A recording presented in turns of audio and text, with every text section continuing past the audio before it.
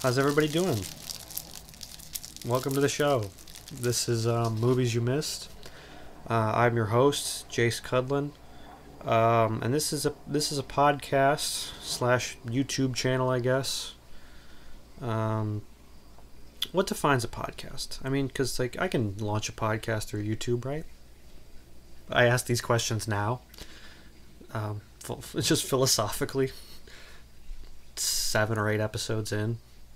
Literally ten episodes in. What am I talking about? Anyway, uh, this is the show. This is a show. I'll refer to it as a show, because um, this is National Public Radio. Um, anyway, uh, you know, it's the it's this show, like I've said a million times already, where we discuss movies that you uh, mm, you might have missed. You might have missed out on them. Um, whether or not that was due to um,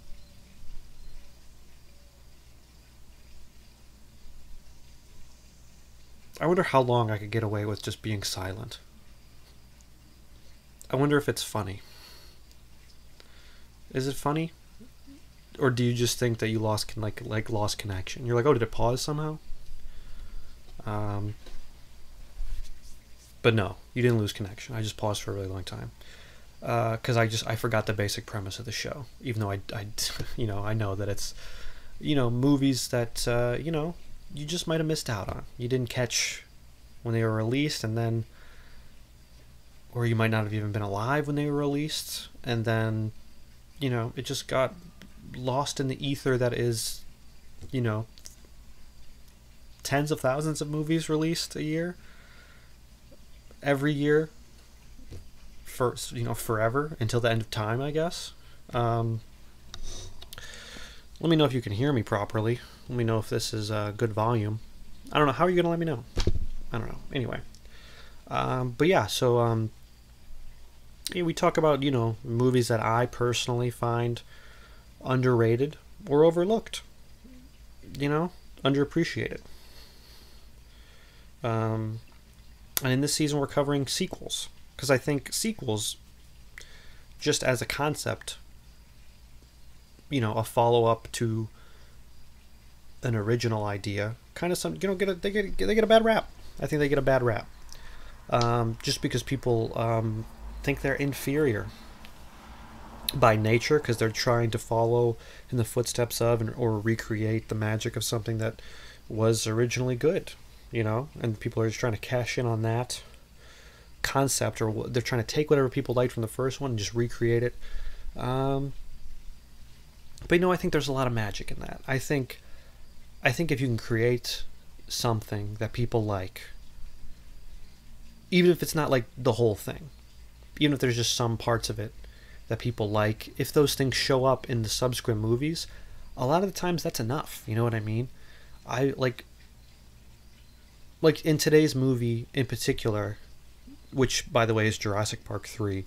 Um, I I mean there's there's so many like oh, homages and just straight up you know it's a continuation of course. So there's a lot of just similar elements. I mean the same characters um, kind of the same situation. Same people behind the scenes behind the camera more or less. Um, and it's just like if you can create something that people like and then just kind of making sequels with those same elements but then like adding a little new stuff adding a little bit of the new but not too much of the new you can just you can make movies and i guess just like tv shows anything that people will want to consume especially people like me. I mean i think the human race kind of craves the same thing over and over again. Our brains, you know, I'm no doctor, but you know, brains recognize patterns, and patterns are pleasurable to the brain, and people and like our brains crave them. Um, you know, people love consistency. People love what they love, and just like over and over and over again. So I think like I think Paul Rust, comedian, um, star of the TV show Love and I Love You, Beth Cooper, and then host of With Gourley and Rust, uh, movie podcast, uh, once said that a good sequel is like a good cover of a song. You know, it's still the same song, but just with like certain new elements or twists added. And I think that especially is what Jurassic Park 3 is. Like I think it's Jurassic Park 3 is like you take Jurassic Park same characters, same kind of setting um, and you just tweak it a little bit, you know? I think and of course they try to do that they did that with Jurassic Park like the Lost World Jurassic Park 2 and um, Jurassic World and all those sequels. Like it's like uh, you know just tweak it a little bit. If you tweak it too much it becomes too like too foreign to what pe- and too far away from what people know and they don't like it. You know what i mean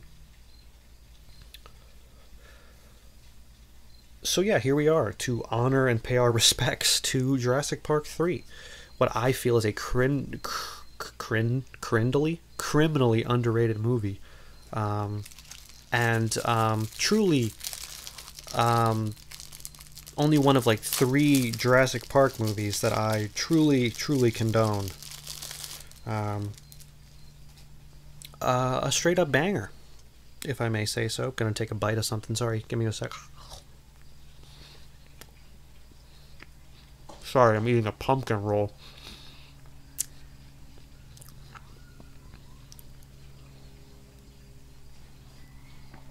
Sorry, excuse me, excuse me, sorry.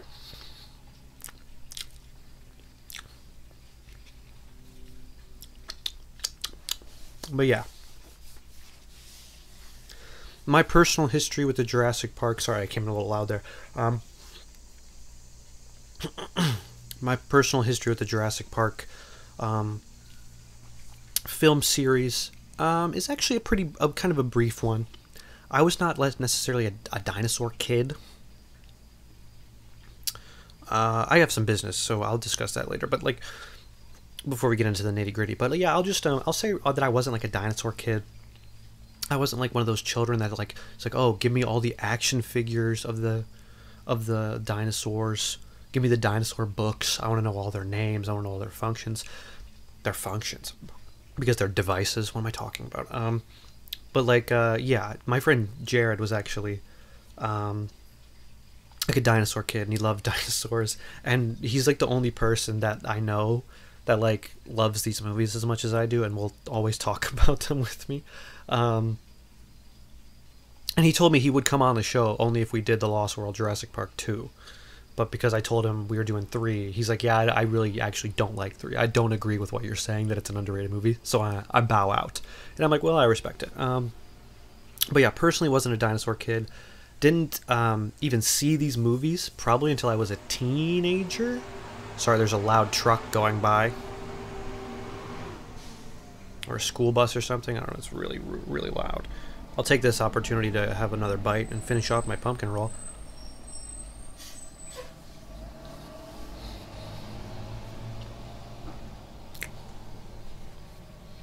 Get some water as well.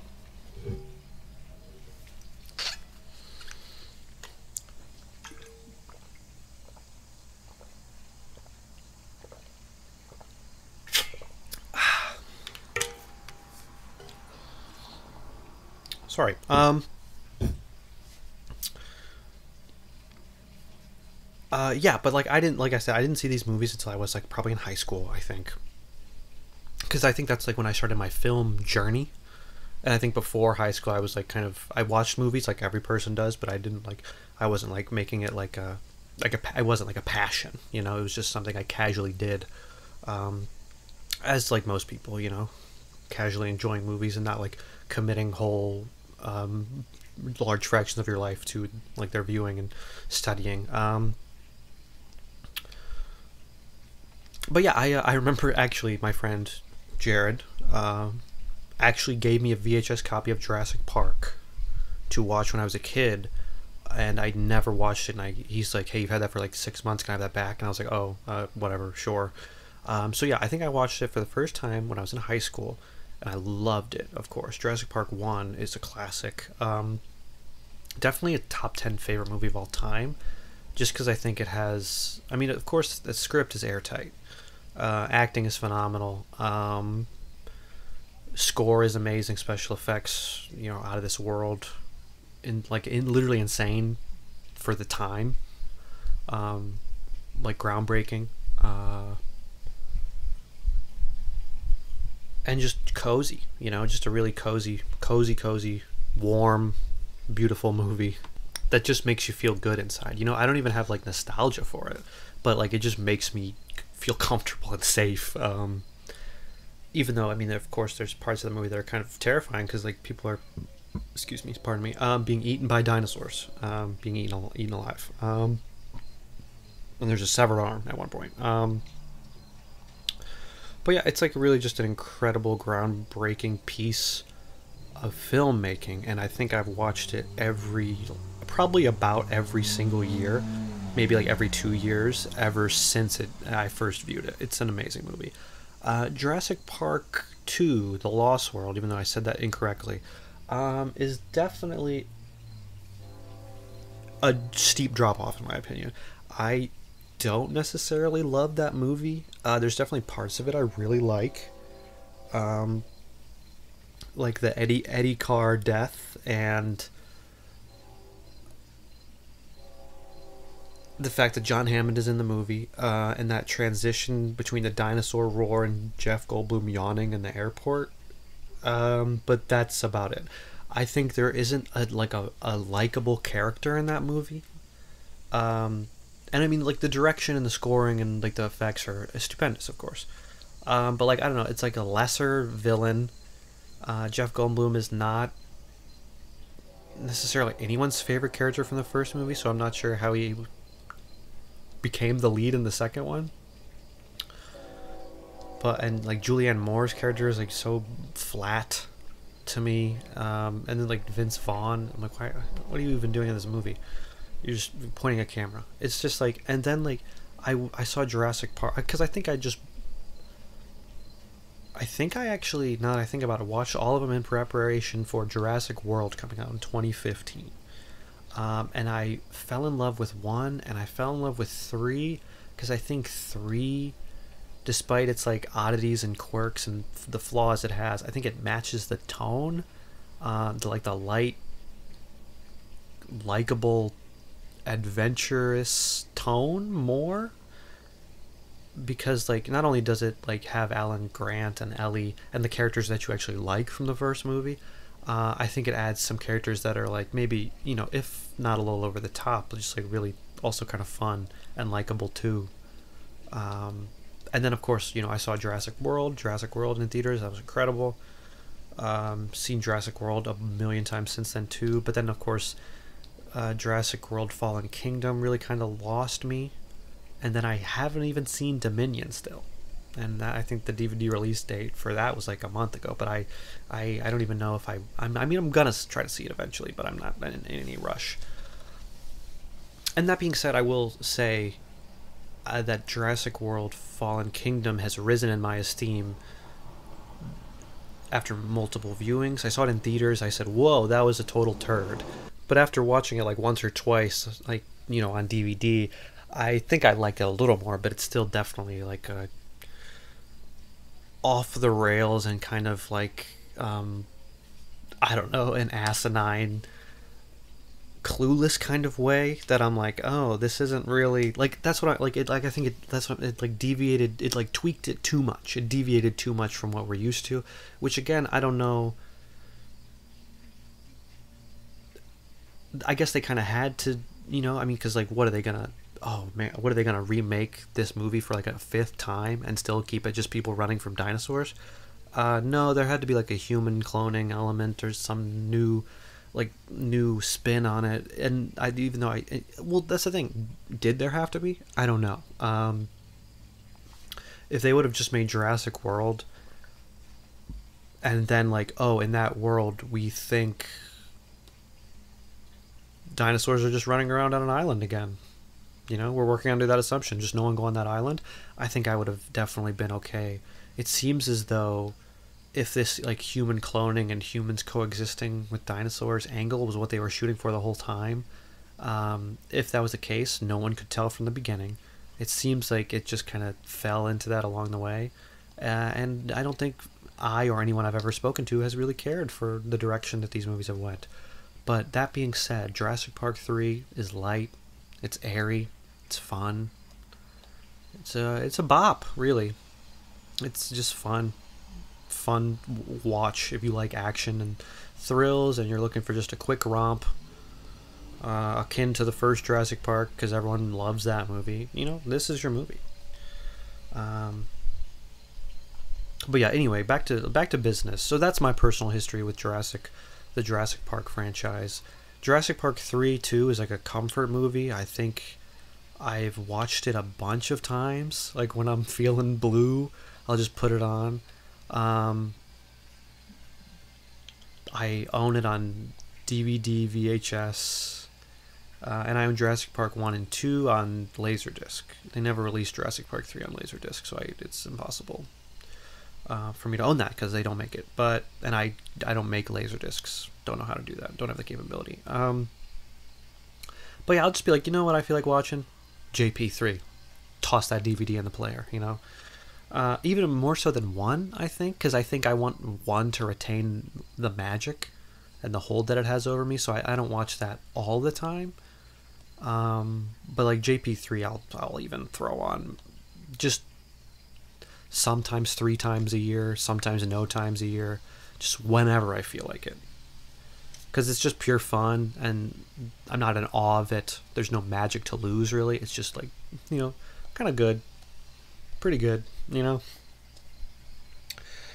But yeah, uh, so anyway, some business up front, even though it's not up front, we're like 17 minutes in. Um, this is the penultimate episode in our sequel, our summer sequel series um, which I'm sad to say, because that means it's coming to an end soon, coming to an end next week, which is a real bummer. I've had a lot of fun. I've had so much fun doing these, like doing these sequels, talking about these sequels uh, every week.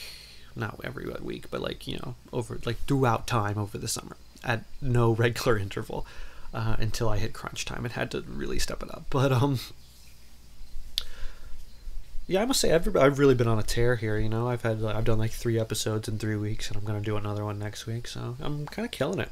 Anyway, but it's been a blast, really. Um, and I plan to, of course, keep this up. You know, we know the we know you know. Oh, I guess I uh, I'm I haven't had a chance to announce this yet because it just came to me during this week. But uh, uh, for the Halloween specials, uh, I'm gonna do the Halloween, Halloween four, five, and six, the Thorn trilogy of the Halloween movies. Um, just because I can, I think those movies are really like just not stupendous filmmaking by any means, but I think they're very, very enjoyable uh, and interesting. Um, and I think it kind of fits perfectly because it's Halloween. You know, we're doing Halloween specials, and I'm doing Halloween movies and it kind of fits in with you know how we did Halloween 2 this season and I'm just a huge Halloween fan. I'm going to be watching those movies anyway, of course. So um you know, that's what we're going to be doing. That's going to be the Halloween specials. We got those lined up. I'm going to start the second week of October and do one a week until Halloween. So I'll take uh after next week I'll take like 2 weeks off uh, if you'll permit me. And then um, after that, uh, who knows when the winter season of erotic thrillers is gonna be uh, is gonna be starting.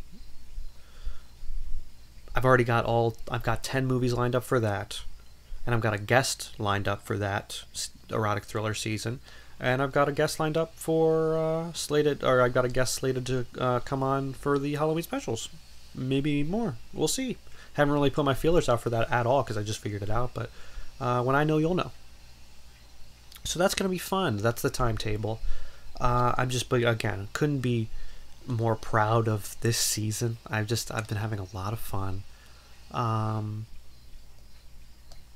discussing these films. Um, and I think I'm going to try to do like themed seasons for as long as I can uh, and even I have like a master list of movies I want to cover on this show, so I may even just start looking through that list and like separating those movies into like loose categories to just like I think it helps keep me on track better, um, which just means more content for you.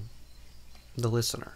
Um, so yeah, that's what we're working with. Um, and I'll let you. I'll tell. I'll fill you guys in on what the next, the last episode of Sequel Summer will be at the end of this one, um, which I I've been really excited about. I've been saving this all season. Um, the two I was most excited out about were uh, well, the three I was most excited about were Halloween two, RoboCop two, and then this one. So I had to just I had to I'm like I gotta do RoboCop two and Halloween two right away, because I'm just I can't I cannot you know. But then I managed to save this one all the way until the end. Not that I wasn't excited about every single one of them, because I was. I'm a big fan of every single movie I've done, obviously. Um, so yeah, here we are. Let's talk Jurassic Park 3.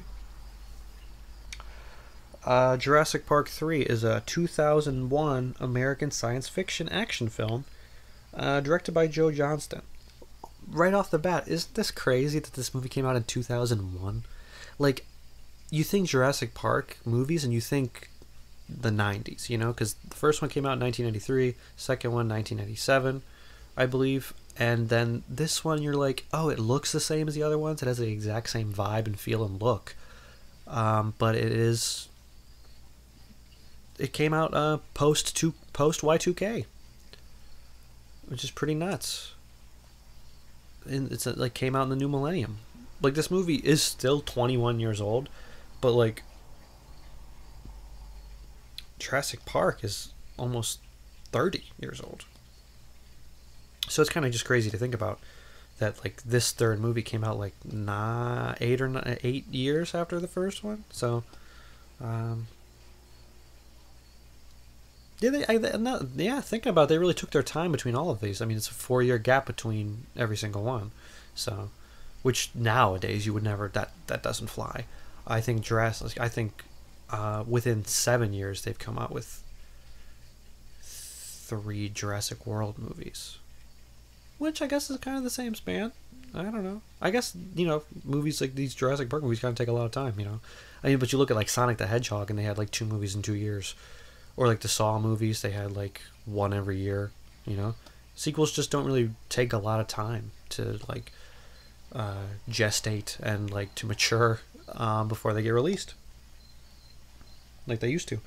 Um, but yeah, this is like I said, the third installment of the Jurassic Park franchise and the final film in the original trilogy. Um, the film's plot follows a divorced couple, played by uh, Tia Leone, Taya Taya Leone, and William H. Macy, who trick Alan Grant, played by Sam Neill, uh, and his associate Billy Brennan into uh, helping them find their son who went missing on the island of Isla Sorna, which is the secondary cloning uh, dinosaur island site that the Lost World Jurassic Park 2 takes place on. Uh, the film was released on July 18th, 2001, uh, and it grossed 368.8 million against a budget of 93 million. So this movie, despite being critically um, kind of not panned, but like mixed to negative reviews, was a box office like smash hit. People, I mean, because it's Jurassic. I mean, if you put Jurassic Park on something, it's going to make a ton of money. Especially because I think people liked. I mean, they loved Jurassic Park one, obviously, and then I think they liked Jurassic Park two enough to the point where they were like, let's go, let's go, just let's see the new one, see if it's not bad yet, you know. Uh, this movie was directed by Joe Johnston, um, who I didn't know much about Joe Johnston before. Uh, you know, doing this movie on this podcast, but uh, he's actually done a ton of movies that I love, like um, Honey, I Shrunk the Kids, uh, the original Jumanji with Robin Williams, October Sky, um, the Benicio del Toro Wolfman, and Captain America: The First Avenger. So I mean, we all love Captain America: The First Avenger. Pretty pretty nuts. Um, this movie was uh, written by Alexander Payne and uh, and Jim Taylor, who uh, Alexander Payne and Jim Taylor wrote about Schmidt Sideways, The Descendants, Nebraska, and Downsizing, and those movies were directed by Alexander Payne. And then there was, uh, I'm sorry, there was a third writing credits. Um, Peter Buchman, who I uh, couldn't really find anything about on the internet. Um, I think he wrote the screenplay for Eragon.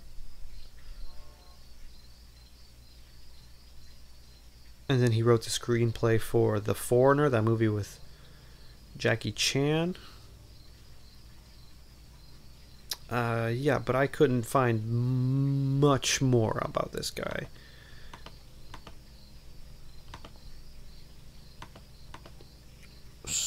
Uh, the director of photography was Shelly Johnson, who you know love to see a woman cinematographer. That's a kind. I think that might be a first for this show.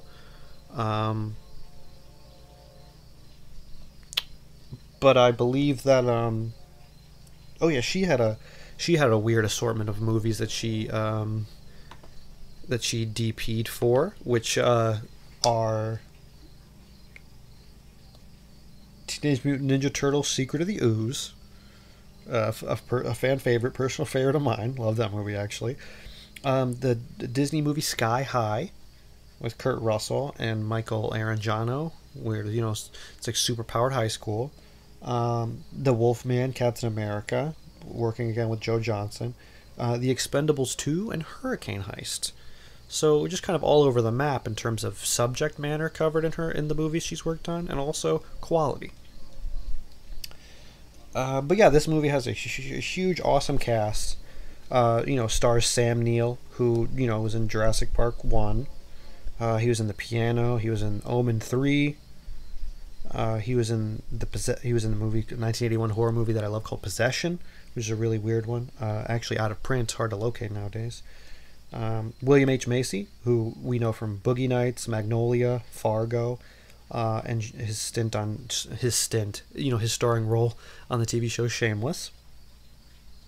Téa Leoni, who is in like Madam Secretary, Bad Boys, Deep Impact, and The Family Man with Nicolas Cage. Alessandro Nivola, who was in Face Off, and then you know recently The Many Saints of Newark. He plays uh, Dr. Grant's assistant Billy Brennan, uh, and then Mike Michael Jeter was in this movie. He was in you know Tango and Cash, Fisher King, Patch Adams, Green Mile, etc., etc. A lot of credits. This guy is a very uh, prolific like character actor. And then uh, Trevor Morgan, who's like a little kid, does a lot of little kid stuff. I think he was in Barney. You know, he's a child actor uh, who plays the son, the aforementioned son that was lost on Isla Sorna that needs to be found.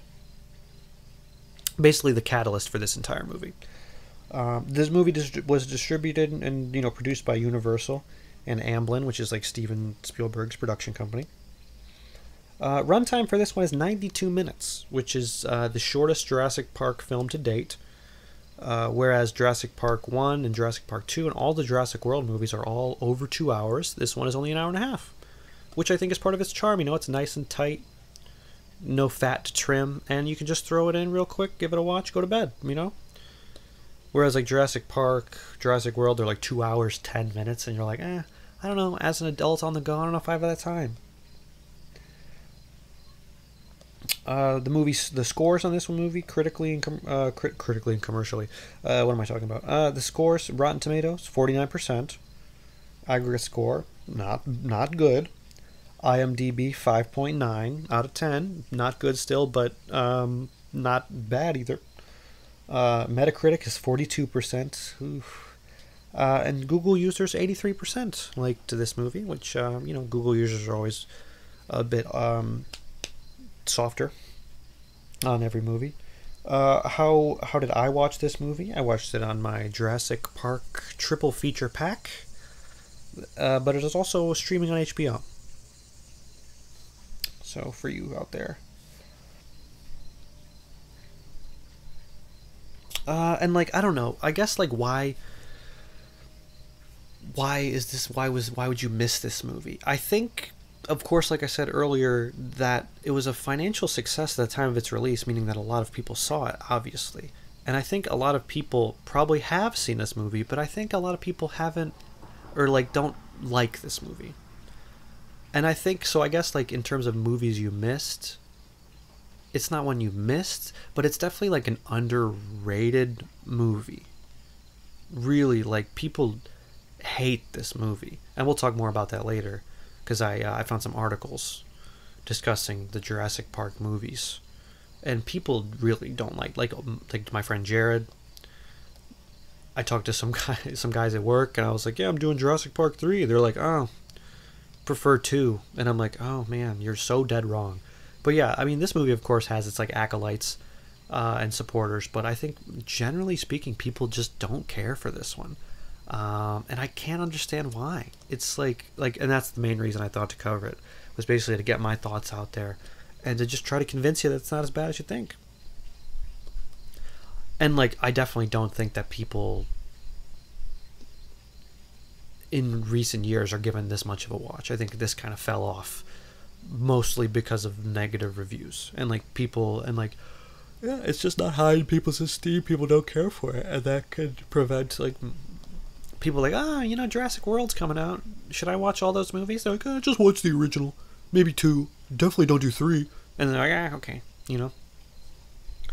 So just like for future generations and posterity's sake, I'd like to go on record and officially just give this movie a thumbs up, dude.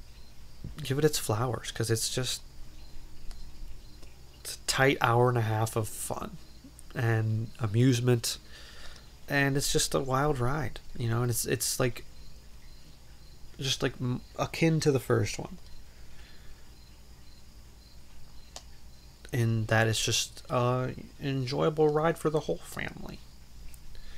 But anyway, yeah, we can just get into this baby bit by bit, break it down scene by scene, because I have, let's see here, one, two, three, four, five, five pages of notes. Oh, and I and I don't want to like not give anyone credit where it's due, because this, um, I think this script comes from an idea by David Koepp, which was the writer of the previous two movies. And that this script, though it was mostly Alexander Payne and Jim Taylor, um, also had there were also uncredited uh, rewrites by John August, who uh, wrote like Charlie's Angels and Charlie's Angels Full Throttle, and uh, Big Fish and the movie Go, directed by Doug Doug Liman, uh, and Corpse Bride. So he did rewrites. I think, and originally it was written by. There was an original script by Craig Rosenberg about, and like that's where the idea of like someone being marooned on Isla Sorna comes from.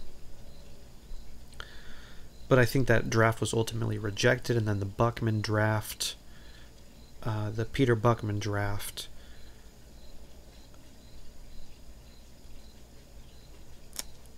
but that uh, that was also rejected as well. So sorry, I don't want. I, I I know I said I would talk about the movie, but then I I wanted to get into this because I forgot to write it down and I wanted to talk about it. But yeah, so I think they retained certain Buchman elements, um, but Alexander Payne and Jim Taylor, who are like a duo, um, revised that script and made a lot of uh, revisions and then John August came in, and then that was the script we see before us. So um, Buchman is still credited, but I don't know how much of his original stuff is really, really used. Um, so yeah, uh, now we can finally get into the nitty gritty and talk about the movie. The actual events of the movie, anyway. Um, so yeah, uh, you know, it opens on you know the Universal logo, you know, going around, you know, Universal in big letters going around the planet Earth, which is, you know, we love to see it. This is actually the only the second Universal this season following Halloween 2 because we've had a bunch of 20th Century Foxes in a row and then we had some New Line Cinemas in a row. Uh, but yeah, so we got a we got a Universal since the first for the first time since Halloween 2. And then boom, our first Amblin which is um, Steven Spielberg's production company, like I said earlier. And then uh, it, the Amblin logo, and this one is really cool actually, um, because the Amblin logo, logo has like uh, like water, I guess, around it, and the water starts to like shake and like ripple because of dinosaur footsteps that we can that we that can be heard. So that's pretty neat. Um, so then we then flash to um, you know wide out shots of an island, and it's going around this beautiful, like picturesque island, which uh, the island is revealed to be uh, Isla Sorna, which is like the island that Lost World Jurassic Park takes place on, where they like created the dinosaurs and like successfully bred them. Not bred, but cloned, created the dinosaurs on that island before they shipped them to Isla Nublar, which is where Jurassic Park 1 takes place. Uh, so it says, uh, you know, the caption on the bottom of the screen read Isla Sorna restricted. Because I guess since the events of Lost World Jurassic Park 2, where all those people got killed, um, the Costa Rican government has made this a no fly zone. No one can get on or off this island. We think. Because it says restricted, but then, you know, it cuts to this. Uh, this child and man, and they're you know they're strapped together. They're parasailing uh, near the island, like a boat like they're like tethered to a boat that's like in the water obviously. That's where boats go. But then like they're in the air like flying through it on a parachute. I don't know why i'm describing parasailing to you but they're parasailing like right by this island because i guess they want to get try to get a glimpse of dinosaurs. And it's like oh it's like a dad and son maybe doing fun stuff together you know what i mean? Um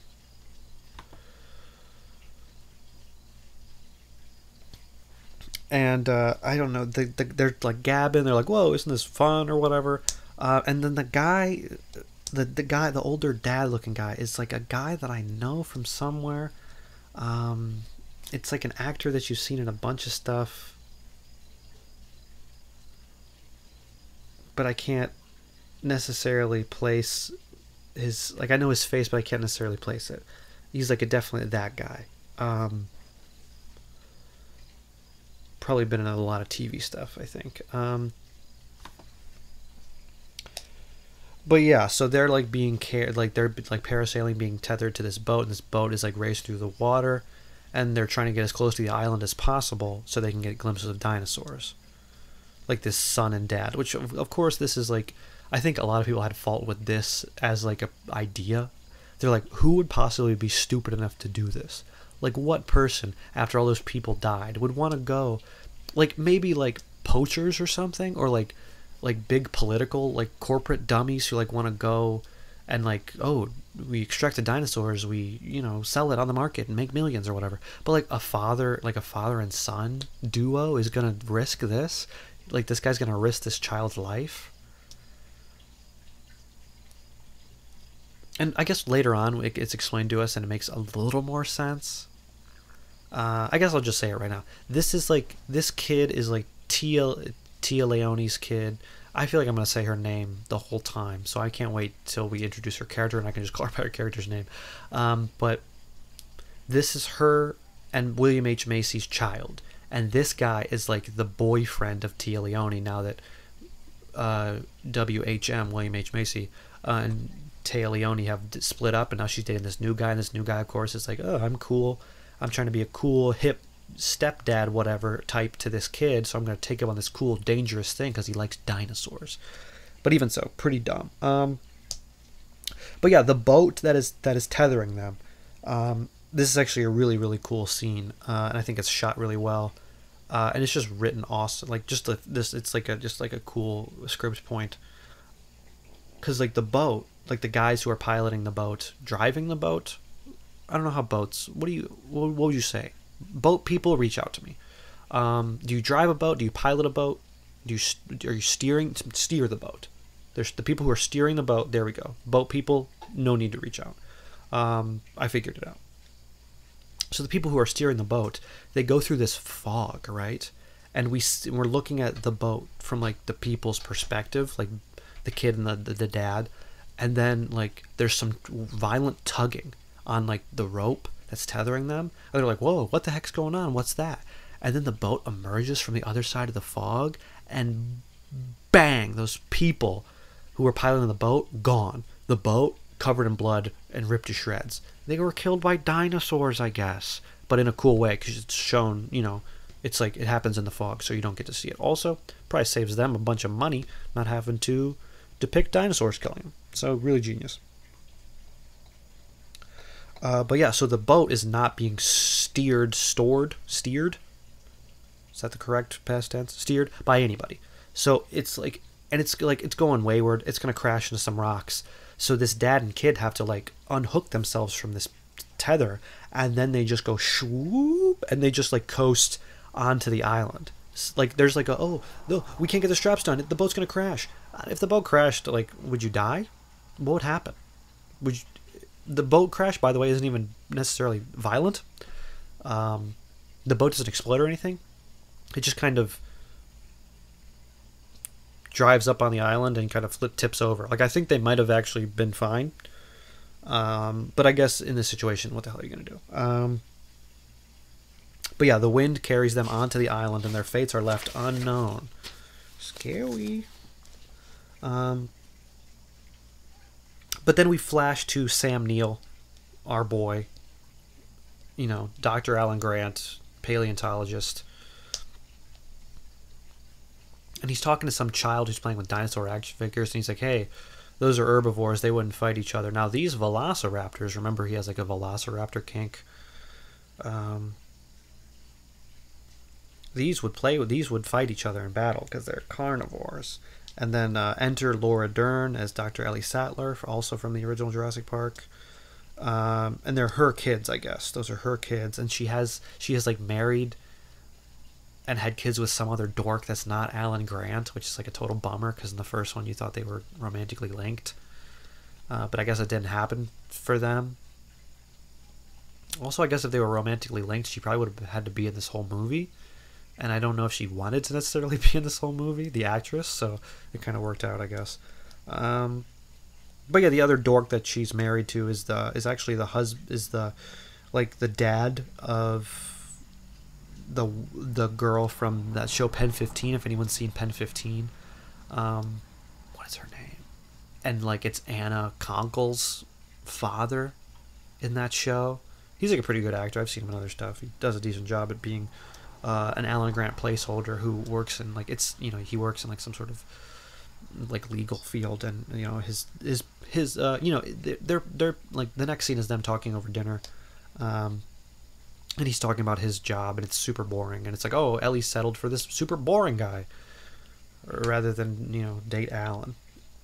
But um but yeah the guy the guy the dad from pen 15 leaves and it's just ellie and alan and they're discussing how alan has like theorized that raptors actually were able to vocalize in like a sophisticated manner um, based on what they saw on the island and the further research that he's done that like oh they had they could communicate with each other. They can talk. They were actually more intelligent than primates. And by the way this is like a huge point.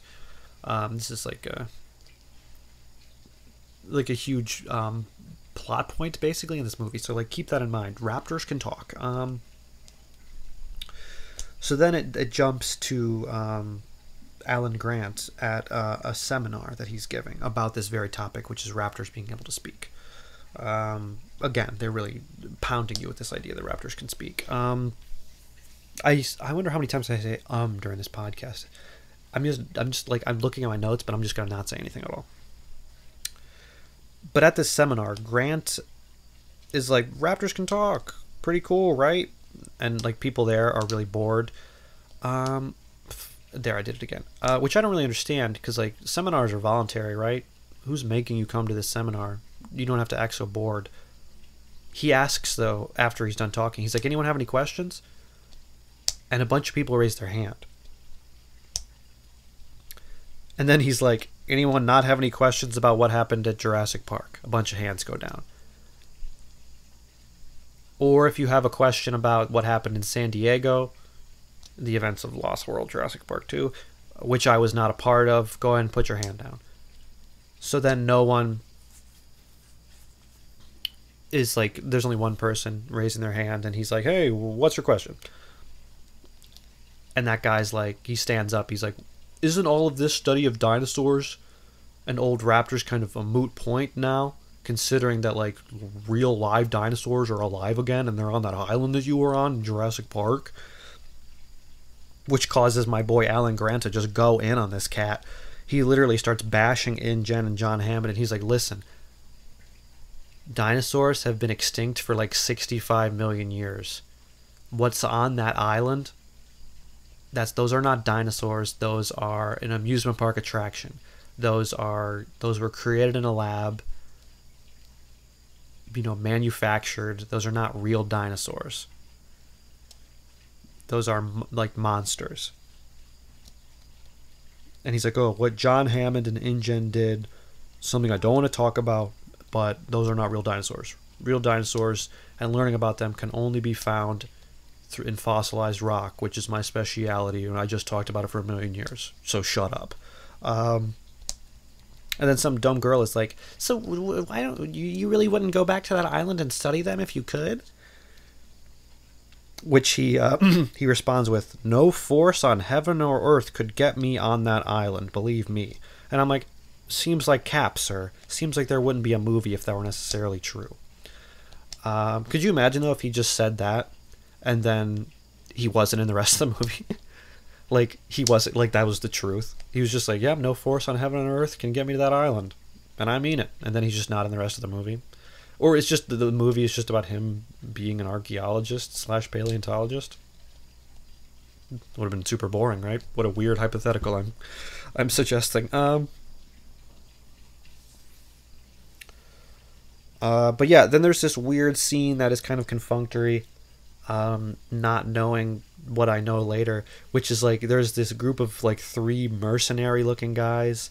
One of them's talking on a phone to somebody, saying like, "Oh yeah, we'll be ready. Oh yeah, I got a crew. Oh yeah," and then one of them, blow- they're in some sort of weird airplane graveyard where there's a bunch of broken down plane parts, and they're testing out like rocket launchers, blowing up planes with them.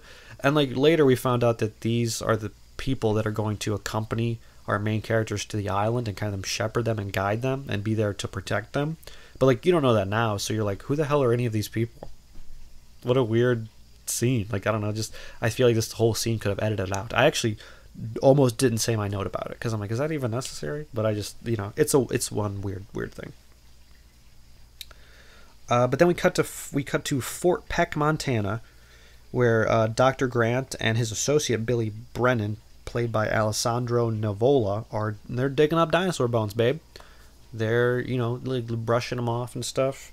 That being said, I know like I I I thought this movie might be trouble because of my lack of um, dinosaur expertise. I guess like I don't know what kinds of dinosaurs are what, bro. I know a couple. I know like the big five. You know. I couldn't tell you which one's a Stegosaurus. No idea. I know it's like um.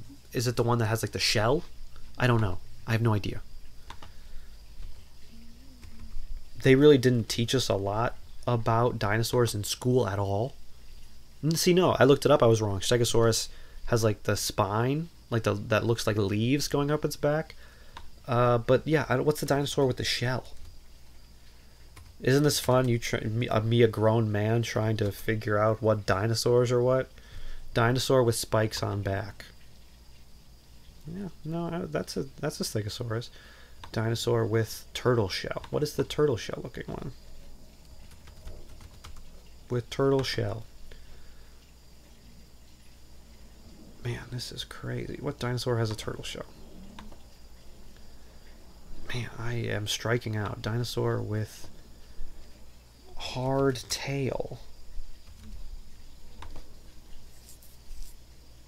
Oh, Ankylo Ankylosaurus. Yeah, I've never even said that word in my life. Uh, what are the types of dinosaurs? How many types of dinosaurs are there? Sorry about this tangent. I'm getting a. Uh, how many dinosaurs are there? There's like three, roughly 700 species of dinosaurs. Oh my god! Like I know the ones that are in this movie. I know Triceratops. Um, what's the one with the long neck? That's in like the first Jurassic Park. That's also in this movie. Dinosaur with long neck. Brontosaurus, that's it.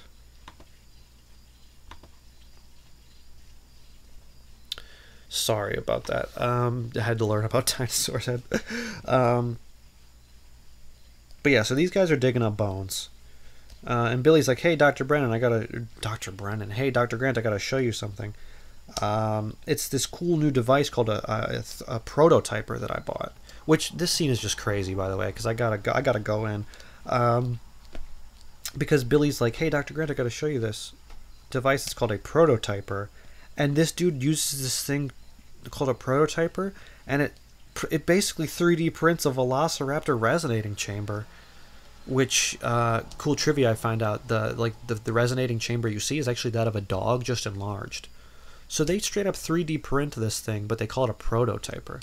I was just like, whoa! First of all, 20 years ago they had the technology of 3D printing. I only heard of 3D printing like six years ago, but apparently it was 3D printing was around at this time. But they call but they for some reason didn't call it 3D printing. In this movie, they called it prototyping. And I was like I wrote down, I'm like, did this technology exist?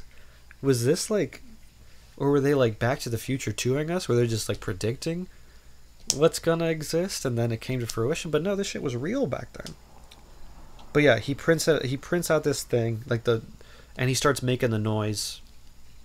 And Dr. Grant's like, yeah, dude, this is the exact shit I've been talking about. See, they can talk. They were able to speak. But while they're in this tent looking at this thing, they're interrupted by uh, William H. Macy, who, whose name is Paul Kirby of Kirby Enterprises, supposedly. Who, along with his wife, um, want to convince Alan Grant to take them in their uh, their in their guides to Isla Sorna. Uh, and they take Alan Grant and Billy out to dinner to discuss this. Uh, and they're like, "Yeah, we're uh, we're adventurers." Paul Kirby and Amanda Kirby, played by William H Macy and Téa Leoni, just so I can establish that, so I can stop calling them William H Macy and Téa Leoni because those are um, a lot for me. um, by the way, Téa Leoni is a total smoke show. I'll say that right now. Laura Dern, total smoke show. Moving on. Um, but yeah, so they take him out to dinner, and they actually go to this like little dive bar, which I thought he's like, "We'll treat you to dinner. We'll take you out," and they go to like a bar. They go to like a bistro, which I thought was weird. But uh, Alan Grant orders something called an ice pick, which I've never heard of. He literally says this. They're like, "Hey, what do you have?" And Alan Grant says, "Ice pick, catfish." And I'm like, "What the hell is this guy talking about?"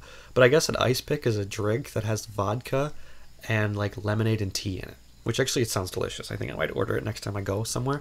But it's literally like an Arnold Palmer mixed with vodka. So it's really interesting. He's like, but he calls the woman whose name is Cat, he calls her Catfish. He's like, ice pick catfish. And I was like, me and the entire world went, what the fuck is this dude talking about? um, but yeah, Paul Kirby goes into the fact that like he and his wife are adventurers. They've been to like, you know, 2K. They climbed like Mount Everest. They've been on a bunch of adventure trails. And now they want to go to like fly over Isla Sorna, and he wants them to be their guide and point out dinosaurs and stuff. Uh, and you know, Paul Kirby says that he's in the businesses of import, export, and emerging markets. Which, like, what the hell are you talking about? What does that mean? That's not a business. Those are economic terms. Um,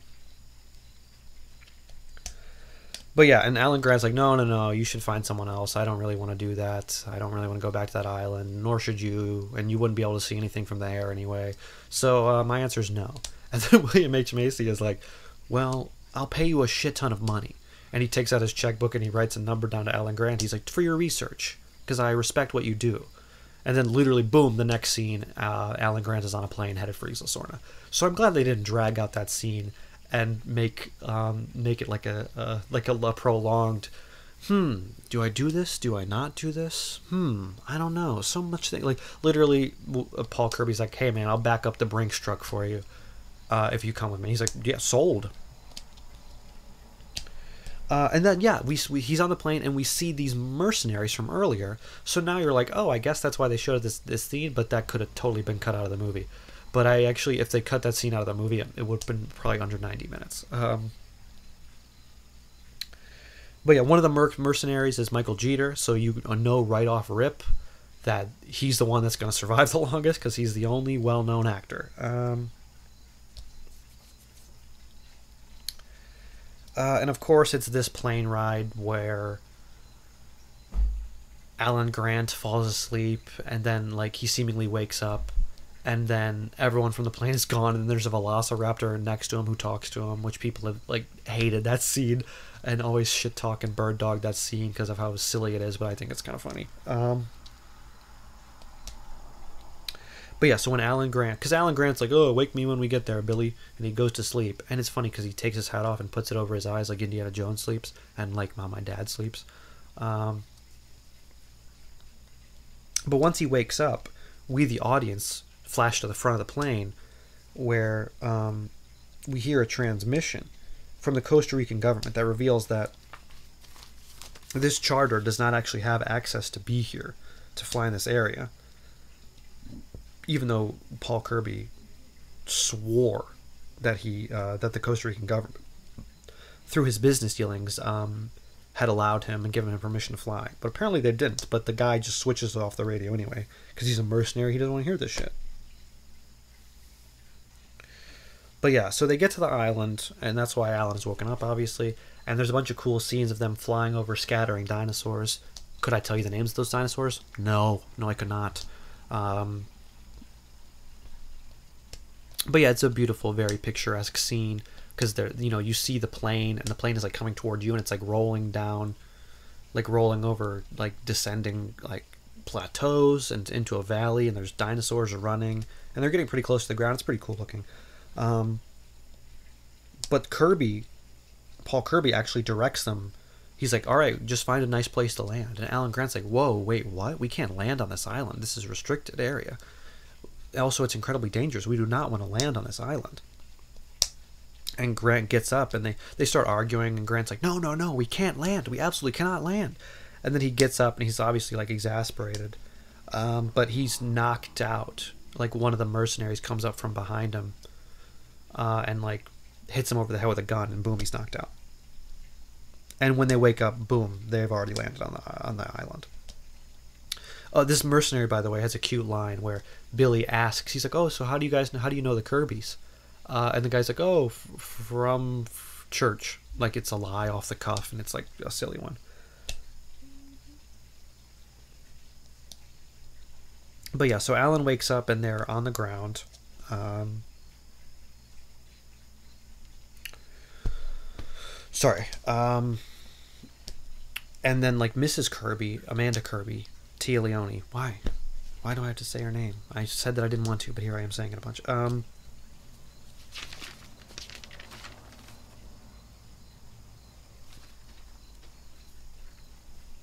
Yeah, um, is like screaming the name Ben. Ben, where are you, Ben? Over and over and over again.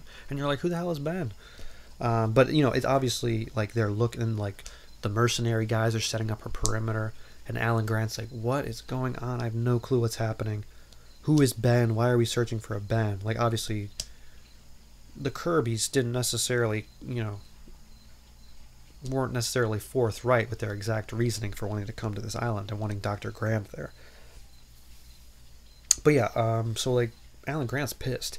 And he's also like, hey, Mrs. Kirby, you gotta stop yelling. There's a lot of dangerous dinosaurs on this island and you're going to attract them. Because she's hollering at the top of her lungs um, Ben, Ben, Ben, where are you, Ben, over and over again. But yeah, so then naturally, lo and behold, this yelling attracts a giant angry dinosaur who um, we see the trees rustling, we know it's coming, we hear the roars, and then Alan Grant is like, we got to get everyone back on the plane, we got to get the hell out of here. So everyone you know, it's the two of the mercenaries run out of the woods. They all get on the plane, leaving the mercenary who knocked Doctor Grant behind, actually. Um, and they they like they like get the plane moving. They're like, we gotta go. It's like going down the you know the makeshift runway plane, and not like plane like P L A I N like because it's like a prairie plane. And they're like they're using it as a runway. It's a grassy field, okay. And they're like gearing up to and then the like this bloody mercenary guy Cooper, who knocked out Alan Grant earlier, and evidently goes to church with the Kirbys. He runs out, and because he, he's like, "Please don't leave me! Please don't leave me!" But then, boom! Right behind him is this giant dinosaur, who chomps the guy down, and also gets in the way of the plane to where the plane has to veer off, and it hits the dinosaur, and then spirals into the into like the nearby forest and crashes and like ends up stuck in a tree. But then you know, boom, this dinosaur is on them like white on rice, and he's like attempting to pry like open like the plane with his like claws and his teeth and stuff, and you're like, whoa, our gang might not make it out of this; they might die. Um, but uh, the dinosaur actually gets his little snout, even though it's not little, it's giant. Gets this giant snout stuck in the opening of the plane, and they're able to. Oh, the plane, by the way, falls out of a tree because the dinosaurs, you know, messing with it, and then they, you know, they see this opportunity and they all run.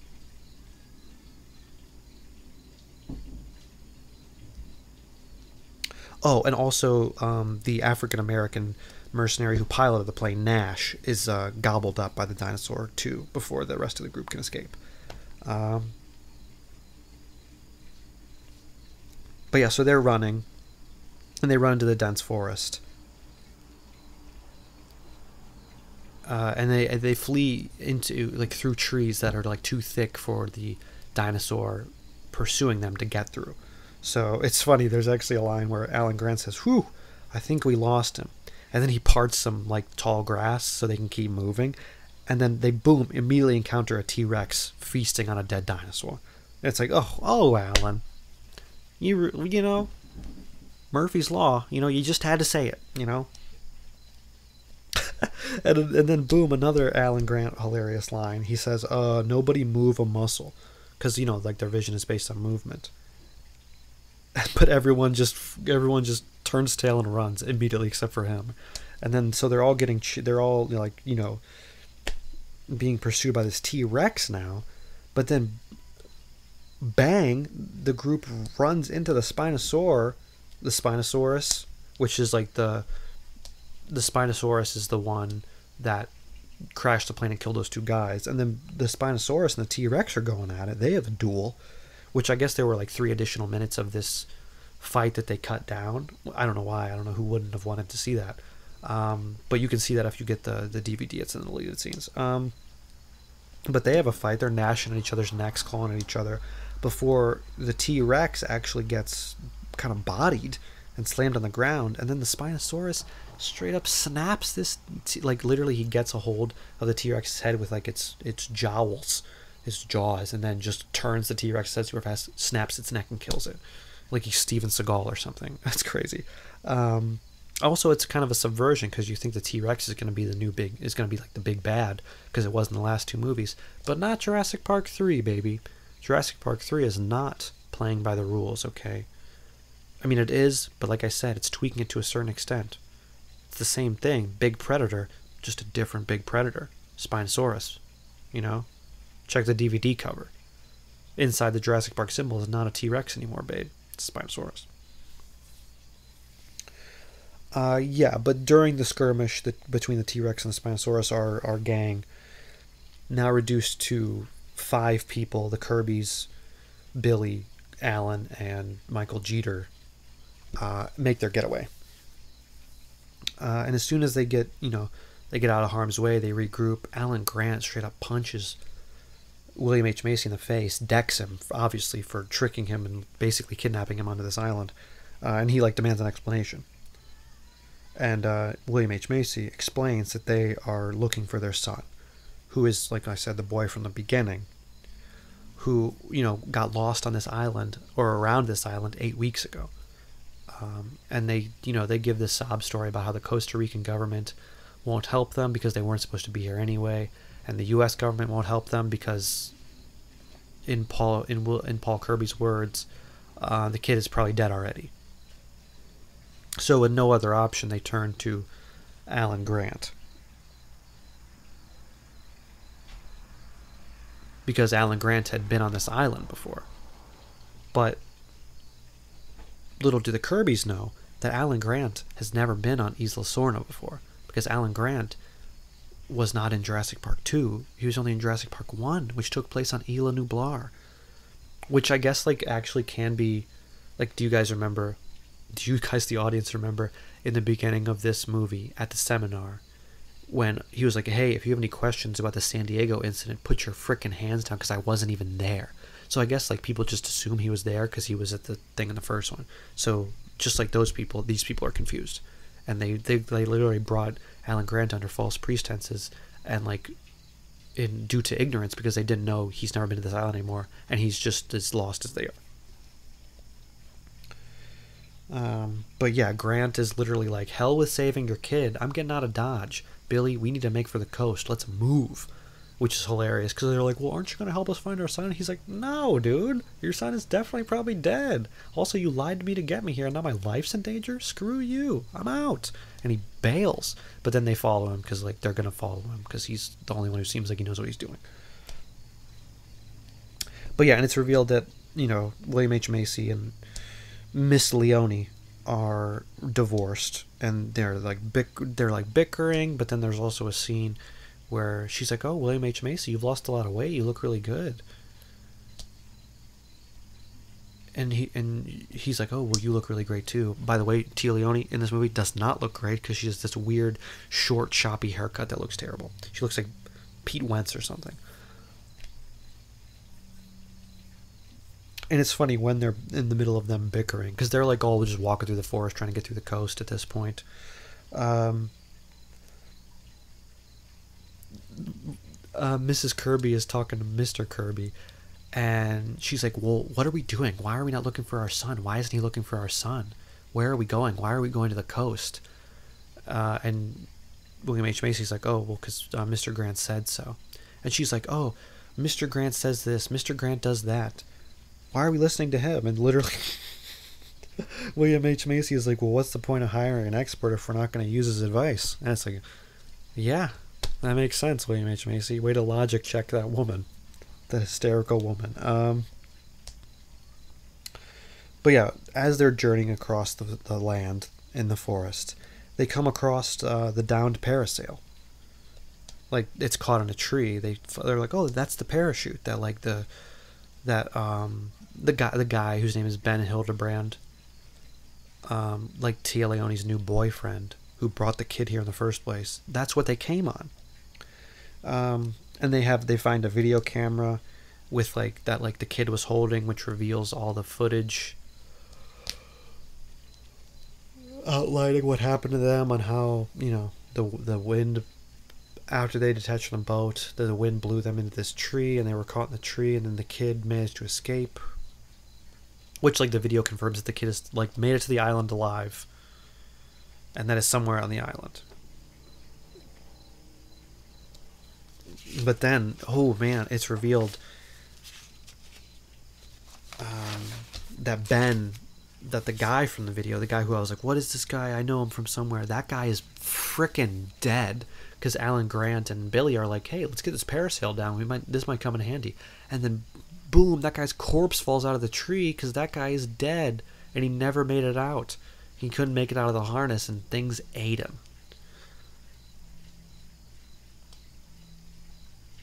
Oh yeah, I have a note about Téa Leoni's hair being bad and choppy.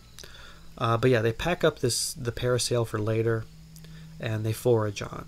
You know, and they come across raptor eggs. And they're like, whoa, cool, raptor eggs. This comes back later, but, you know, it's cool.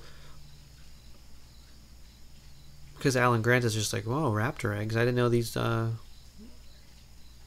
they weren't supposed to be able to be reproduced. It's crazy that they were laying eggs and stuff.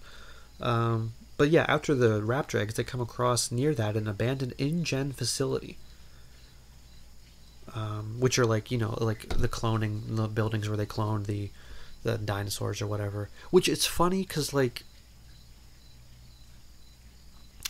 these like I don't I don't want to nitpick too much because I am like I said a fan of this movie, but like it's been eight years since Jurassic Park one, and we can assume that it's been like eight years since these buildings were in use but like these buildings almost look like old Mayan ruins or something. The way that like all the windows all everywhere are busted up and like everything's dirty and grimy and kind of breaking down and nature is reclaiming it. These look like Mayan ruins or something. They look like that like they were destroyed and haven't been used for 50 years. Like in Jurassic World, which is set straight up like 22 years after Jurassic Park, they go to like it, they go to the old ruins of the Jurassic Park from uh, like on Isla Nublar, and it looks like these ruins, but it should look like that in Jurassic World because it's been like 25 years almost. Whereas it's only been like eight years since these buildings were abandoned. They shouldn't necessarily look like this. Um, but yeah, so they come across the this facility and they go inside to try to find shelter or whatever, or they're looking and they're looking for the kid too. I guess at this point. Um, there's this funny scene though where William H Macy is at a vent at like these abandoned vending machines at this facility, and he's like, mm, "I'm hungry. Does anyone have any quarters?" And he's like going through change in his pocket, and then Billy just comes out of nowhere and just kicks through the glass and just starts taking chips and snacks and stuff because it's just like, "Hey, William H Macy, this is an abandoned building on an abandoned island." Who are you? Whose whose money? Whose pocket are you trying to line with this money right now? Obviously, and then William H Macy like tries to break into his vending machine, but his foot just bounces off the glass because you know he's like a little whelp and like a little uh, pissant wimp compared to big strong Billy. But yeah, there's also like someone is like, oh, so this is how you make dinosaurs, huh? With all this equipment, and then Alan Grant goes, no, this is how you play God pretty cool line. But yeah, they're like looking around, looking for the kid, and uh, Mrs. Kirby is like looking at these glass tanks that have like dinosaur fetuses and stuff in them. And there's this one that she comes across, which seemingly has a raptor head inside of it, like a severed raptor head. But then the eye of the raptor head like focuses and blinks and then boom, you realize that this freaking raptor is just standing creepily, eerily still behind behind the test tube tank thing, and it's really actually kind of like a really eerie and scary scene. Because uh, then boom, it appears out the other side, and it's chasing it's chasing our group, chasing them all through the facility. But like Mrs. Kirby was like looking right at, she's like, "Oh man, a severed raptor," and she's looking at it all close, and then the raptor's like, "What? oh my god, a person, and he just he just goes around and starts attacking them. Um, but they manage to like trap it behind a door and are able to escape. But Grant, Dr. Grant notices that when the Velociraptor is trapped, it starts vocalizing and calling for help. Because remember, raptors can talk. But yeah, they they the group run away and they like uh, there's like a dinosaur stampede for some reason that they like that they like get involved with, but then they're able to like branch off and hide in some woods, woods, hide in a forest near there. But the raptors, there's more of them now because the one called for help. They um, managed to um, chase them into the forest, and they actually they injure like like they like they over like they overcome and like trample and puncture with their claws Michael Jeter. Poor Michael Jeter, who's had some pretty quippy throwaway lines at this point. By the way, his name is Mr. Udesky. So uh, Michael Jeter is a is a is Pollock in this movie. Um, but yeah, so he's like uh, he's like injured and seemingly killed, and uh, while the rest of the group makes it up into the trees, and they're like, "Oh no, Mister Udesky, we got to go back for him. He's still alive." Um, but it's revealed that like Udesky has been put in this clearing and left alone to die to try to lure out the rest of the group because you know velociraptors are smart. They're trying to trap the people and lure them out uh, because they're geniuses. Remember, raptors are geniuses. Uh, they're really trying to drive that point home for some reason. Oh, and I, it's worth mentioning that Mr. Mr. Grant, Dr. Alan Grant, played by Sam Neill, uh, is separated from the main group uh, and he's actually cornered by the Raptors before he is saved by these mysterious smoke grenades that are thrown by this mysterious individual, which disorient and confuse the Velociraptors, um, allowing this individual to lead Dr. Grant in away and into his hideout, which is an overturned tanker truck. It's a pretty cool hideout and it's like uh, you know it seems cozy in there it's like a kid's clubhouse because guess what it's it's that child eric that they've been looking for he just saved dr grant and i guess he's, he's been hiding out um, and eating like military rations inside this overturned like tanker truck. Uh, and he's like has all the he's like he has all this like he's like in for some reason this kid's wearing like a like a hood. And he's wearing like this heavy garb to disguise himself. Don't know why. This like this kid literally looks like Bosch from not Bosch but he looks like one of the bounty hunters. You know the one from Star Wars that has all like the like the the garb on. Like he has almost like a turban type facial dressing on even though I'm like, hey man, we're not in the desert. You don't need to look like that. Um, but yeah, Eric and um, Dr. Grant, you know, they eat a bunch of canned bean rations together and discuss um, Grant's cynicism in, in, his, in his books towards dinosaurs ever since returning from the island. Uh, and the kid reveals that he's survived this long by eating rations and mostly hiding and staying near the compound in case someone found him. And you know, you see you see that this kid is pretty resourceful this kid's a pretty smart kid to have survived for this long, right? Um, the kid has also, I guess, procured dinosaur piss to hide his scent from the T Rexes.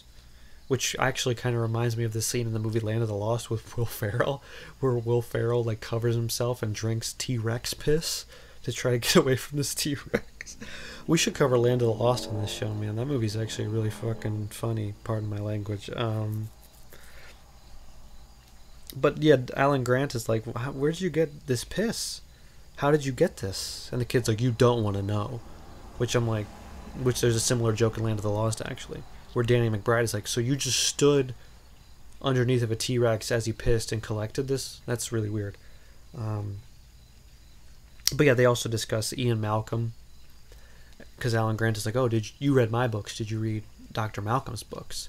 And the kid's like, yeah it was really preachy and everything's chaos, chaos, chaos, and he just seems so high in himself, which I I don't know. I thought was maybe like them dragging Ian Malcolm because they didn't like his last movie and consider this a superior sequel than the other one, which starred Ian Malcolm as the main guy. But yeah, we cut to um, William H Macy and Téa Leoni um, and Billy, and they're looking for Dr. Grant, and there's some cute moments between them where you're like, oh, maybe they'll rekindle their relationship. You know, there's some care, there's some likable characters in this movie. You know, you're not really, but you're kind of rooting for them to get back together, if anything, for their child's sake. You know what I mean?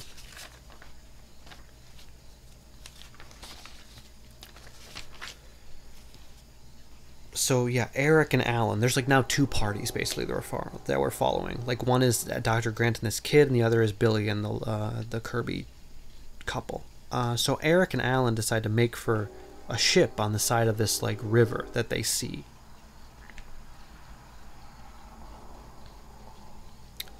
Um, but then they're actually diverted by the sound of um, Paul Kirby's satellite phone which is like the satellite phone. They tried to use it when they landed, but they couldn't get a reception. Um, so like this was like Paul Kirby's satellite phone, and like Alan and Eric hear it ringing, and they decide to follow it, and they follow it to this giant like giant like fence thing, like that's like obviously for like a dinosaur enclosure.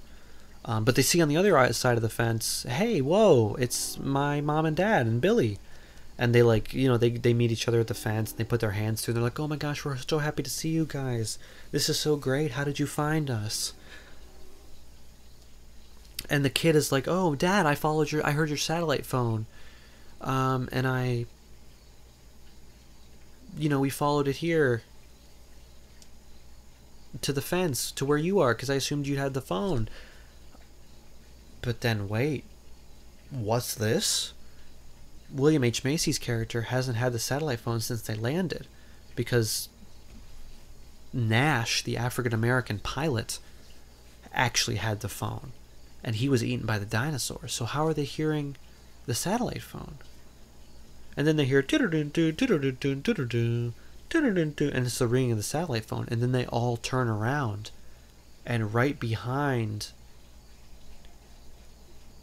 Dr. Grant and Eric is the is the Spinosaurus, standing 25 feet tall, and standing impossibly still, because guess what? What's this, brother? the ringing sound is coming from his belly because he ate Nash earlier. And then everyone's like, oh shit, this, it's over, we're done. The Spinosaurus barrels at them, quick as a whip. And Alan and Grant are like, Alan and Grant, Alan and Eric are like running along the length of the fence trying to find an opening. And they do, they manage to get through before the, the Spinosaurus can eat them. And it's like, whew, what a sweet relief. But that sweet relief is short lived because guess what? The Spinosaurus gets a running start and he charges the fence and he just barrels right through it, busting it up. Uh, but then he, but then they run into another building nearby, and everything is, seems kosher for the moment. And you know, I I was like, oh, they kind of slipped through that fence pretty easily. I thought that had been too easy their escape. Uh, and then, whoa, Spinosaurus breaks through the fence. But then, yeah, it was kind of too easy because they just get in a building. Uh, so they regroup in the building. And then uh, Billy had, oh, I forgot to mention, Billy had lost his bag. But Dr. Grant had picked it up. So now that they're reunited, Billy's like, oh, hey, you grabbed my bag. I'll take that back. And Dr. Grant's like, yeah, it's okay. I don't mind holding it. Just give me a second. I'm trying to get my bearings. And Billy's like, I really want the bag, Dr. Grant. Which Dr. Grant is like, hey, that's pretty sus. Let's open up this bag and he's like, you know, me and the audience and Alan are this one and the same because we're like, why does Billy want this bag back so bad? Turns out in this bag are are Velociraptor eggs. Billy stole the raptor eggs when they came upon them before they, you know, went in that first facility. Like, and that's like why the Velociraptors have been after them so much, been giving them such trouble because Billy stole their freaking eggs. And they're just like, you know, it's activating their maternal paternal instincts to get their freaking eggs back, Billy. Why would you do such a thing? And Alan Grant is pissed beyond belief, dude. He he he brings the hammer down on Billy, gives it to him hard. Like honestly, a little too harsh. He literally says to Billy, he's like, "You've put us all in jeopardy. Why would you do this? It's so irresponsible." And Billy's like, "Oh, well, I just thought if I brought these eggs back and sold them, that we'd be able to fund the dig for another 10 years or so. And it's like, and, you know, I just, you know, I had the best intention in mind. I'm sorry. And Alan Grant is like, Stone Cold just says, yeah, some of the worst things imaginable have been done with the best intentions, Billy. I consider you no better than the people who built this place. And it's like, oh my god, dude. I can't believe you just cooked Billy this hard. Like, Billy has this forlorn look on his face like he's about to blow his freaking brains out any second because Alan Grant just disavowed and disowned this his this him his friend. but yeah, our heroes journey on. They go further into this um, building, which like opens up into this little enclosure. Um, like the building branches off into this series of like catwalks and scaffolds, like that go like down the side of this cliff. Uh, and it, like it, it branches off into this bridge that crosses this chasm and they're like, okay, let's all cross the bridge now. Uh, and then Dr. Grant crosses the bridge, and he's like, it's safe, go ahead. And then Mrs. Uh, Kirby crosses the bridge. And then it's Eric's turn. And as Eric's walking, as, as Eric is walking down the bridge, uh, we cut to Alan on the other side. And, like, he sees all this, like, dinosaur, what appears to be dinosaur fecal matter, like, dried and on these hand railings and then he looks up and he sees that like we're in a bird cage more specifically we're in a pteranodon cage baby which are like the pterodactyl like mini pterodactyl bird type dinosaurs. Uh, and then one actually lands. As alan realizes this one lands right in the middle of the bridge right in front of eric. Um, and it like steps out of the fog right in front of him. This is a horror movie, by the way. This is a scary sequence. Because Eric hears, hears like this noise on the bridge, uh, and he's like, "Mom, mom, is that you?" And then this pteranodon, this giant dinosaur puppet steps out. He's like, "This ain't your mom, boy. I'm here to murder you and eat you." And it's like kind of scary. Um, really cool, really eerie. And this um, this pteranodon picks up Eric and flies away with him. So it's like, oh man, this kid who we've been working our tails off to save just got abducted again. But Billy, seeking redemption, dives off the side and uses the parasail to like give chase. And he's like parachuting and the wind is carrying him and he's like directing it using these arm strap thingies. I don't have any life experience. I don't know what these things are called. Um, but yeah so he's like chasing the pteranodon and the pteranodon drops eric into its nest to be eaten by its children. Um, but billy drops in swoops in scoops eric up um, and then safely drops him in the water but then Billy is caught by a gust of wind. Um, and his like he's like he's like thrown up against the rock wall, and he's like caught on the wall. So like he has no escape. Meanwhile, the rest of the gang, the Kirbys and now Alan Grant are being pursued by a different pteranodon, which Alan Grant straight up kicks in the face, giving them enough time to head through the door and lock it on the other side. But Billy, in the meantime, falls into the water um, and is unfortunately seemingly killed, much to the chagrin of, like, in disappointment and sadness of Dr. Grant and Paul Kirby, who give chase, but, like, he drops into the water and then he's, like, just basically, like, seemingly, like, picked apart and, like, pecked to death by the pteranodons, like a group of three of them, as he, like, is like swept downriver and out of out of our line of vision. Oh man, and like this, I gotta mention this, because this is there's this like as we're watching Billy, like flow down the river being eaten by these pteranodons, um, like it's literally we're following the screen is following him, and then the screen passes this pteranodon, and there's this crazy, crazy, scary shot of this pteranodon literally turn like turning its head ever so slowly, slowly creepy, and it's this creepy ass pteranodon puppet.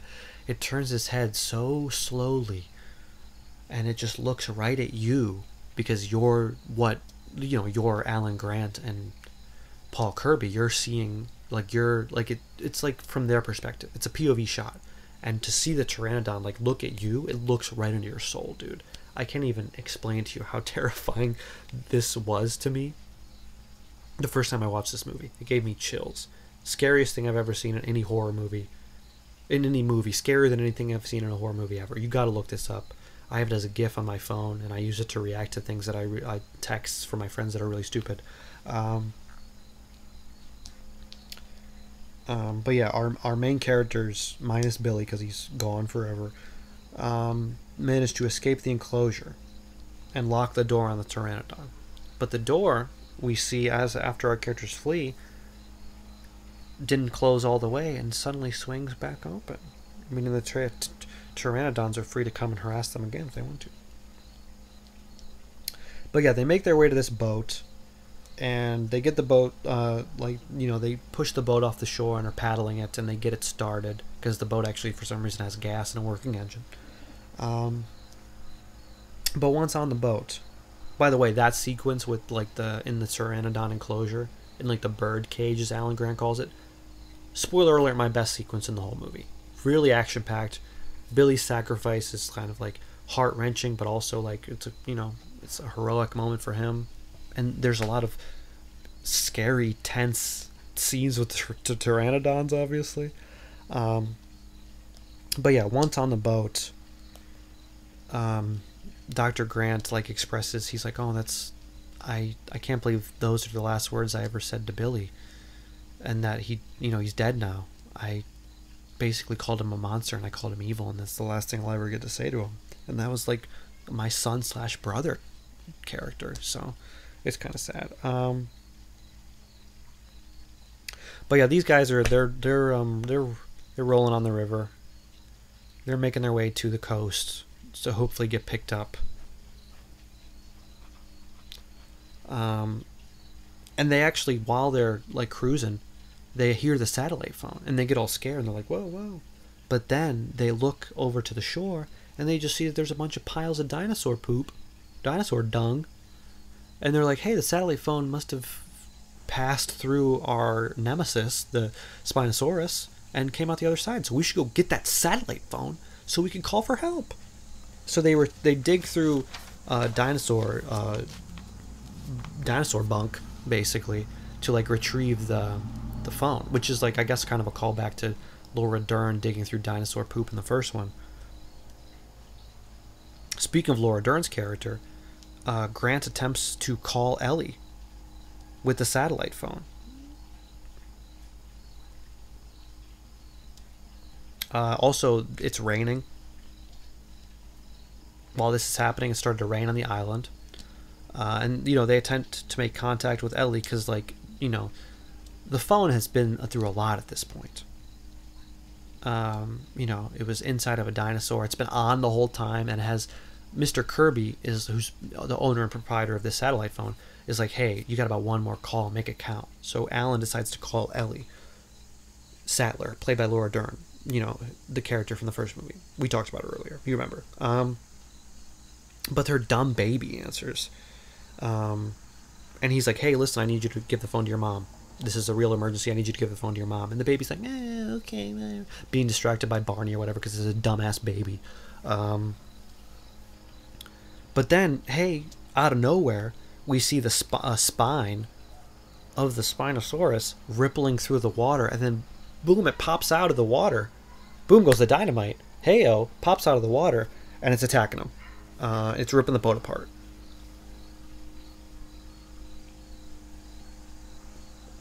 It uh, like our characters are in a main chamber on the boat. This Spinosaurus straight up rips that part off and throws it into the water, and our main characters are starting to sink into the water, and you know they're going to be trapped underwater. Um, also, make note that the Spinosaurus has ripped open the gas tank, which apparently were, were full for some reason, uh, and gasoline is just pouring into the water. Mm. But yeah, Alan manages to communicate to Ellie because the stupid baby gave the phone to her, you know, his mom eventually. And she's like, "Wait, Alan, what's going on? I can barely hear you. You're breaking up." And Alan is like, "Site B, Site B, send help!" Before he and the others are dragged underwater and she loses connection. But yeah, they might they managed to swim out, um, but the Spinosaurus is still right on top of them, and he's about to straight up murder them. Um, before William H Macy, a total wimpy pleb, schlub character, decides to be a hero for the first time in the movie.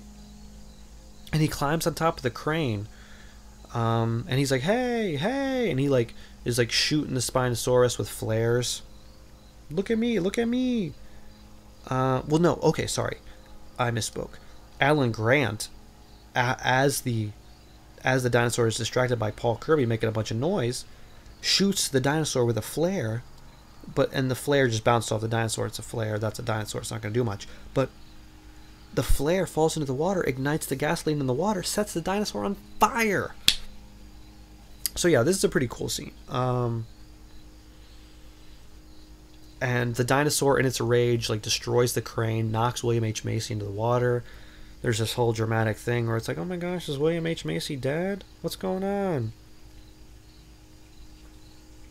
What's the deal? Oh my gosh, our poor dad. And they're like crying and shit. But then William H. Macy just pops up. He's like, hey, I'm alive. I'm right here. You know, they barely give you time to warn William H. to mourn William H. Macy before you just it's revealed that he's alive. So yeah, and I didn't really discuss that in as much detail as I probably should have. That's like the climax of the movie. It's like the main final um, battle. Because uh, for some reason the dinosaur gets set on fire and he flees, and that's the last we see of him. um, movie's basically almost over at this. And I actually, I must say that like, I think I see like people's had a lot of qualms with the movie about a lot of different stuff, but I think the abrupt kind of ending is where it like is where is people's main point of contention, which I get. Like this scene um, is like very tight and fraught, and the Spinosaurus um, is attacking them, and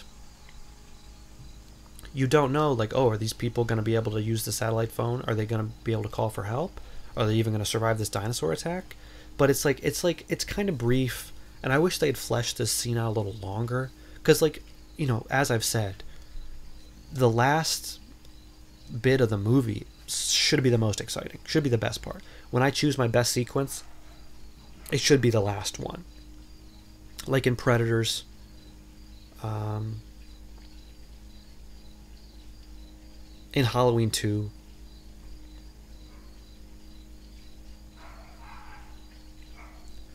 The end sequences, like the last giant big set piece, the last battle, should be the best the best part. But this one is kind of like cut short and it's kind of abrupt, and that's why I think the the pteranodon uh, cage scene is actually the best scene because I just don't think they do enough with this. Like it's not as gripping or action packed as that other scene as it should be. Much akin to like Friday the Thirteenth Part Nine and Freddy's Dead. Like these last sequences are not necessarily well, maybe that's not true of Freddy's Dead, but definitely Friday the Thirteenth and RoboCop Two.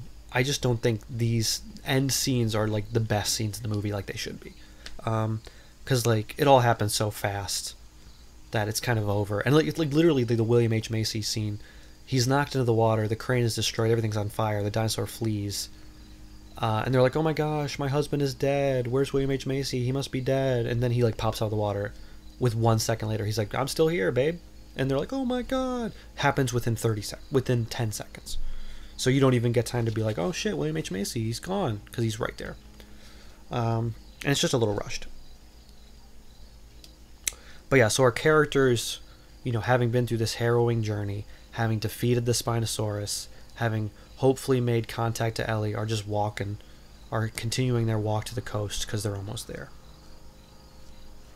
And you know, it's at this point that the kid is like, "Hey, who did you freaking call? We had one call. Who'd you call? Why did you call, you know, the government or the FBI or someone? You called some doctor lady. Who'd you call?"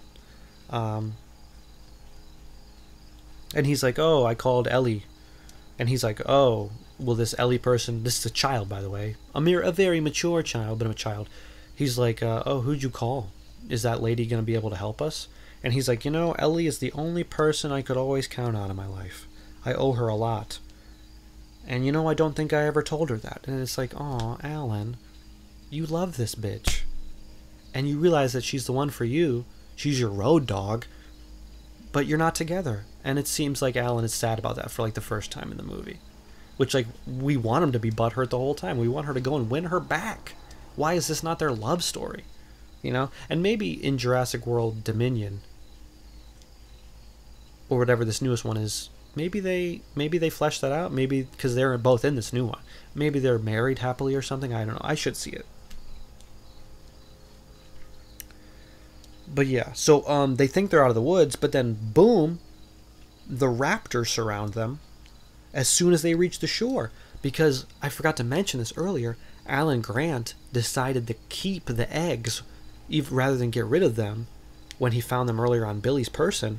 Because he said, oh, if we get rid of the eggs now, the raptors are still going to think we're ha- we have their eggs. So they're going to try and come after us whether or not we actually have them. So we might as well have something to give them and be able to give them back and visibly see he hey we have your eggs take them because you know they're still going to pursue you and kill you whether or not you have them because they think you have them which is actually really freaking smart. Um, but yeah so Téa Leoni um, grant slips her the eggs because she's the front of the group and she's like oh here are your eggs here are your eggs. Um, and then alan grant uses the resonating chamber to like and he makes a bunch of raptor noises or whatever and it dis- it confuses and disorients the raptors who are trying to communicate and like figure out what to do now that like they have their eggs back. And again hey raptors can talk. But like if alan grant can use this thing to talk to them they're to get really confused. Um,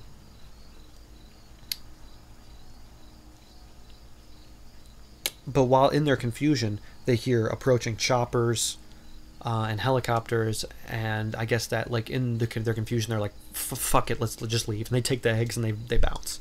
Um, so yeah, again, that's kind of like literally. I mean, this movie is not, is like ninety two minutes. I just wish, and I understand people's complaints with this part of the ending. I mean, it's not like wholly unsatisfying.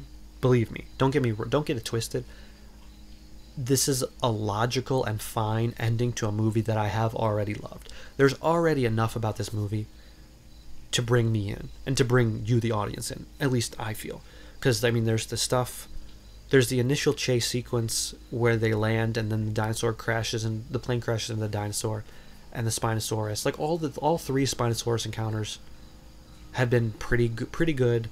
There's a lot of great character stuff. The Raptor encounters, the Raptor encounter in the first facility, um, all this stuff is so great and worth the price of admission already.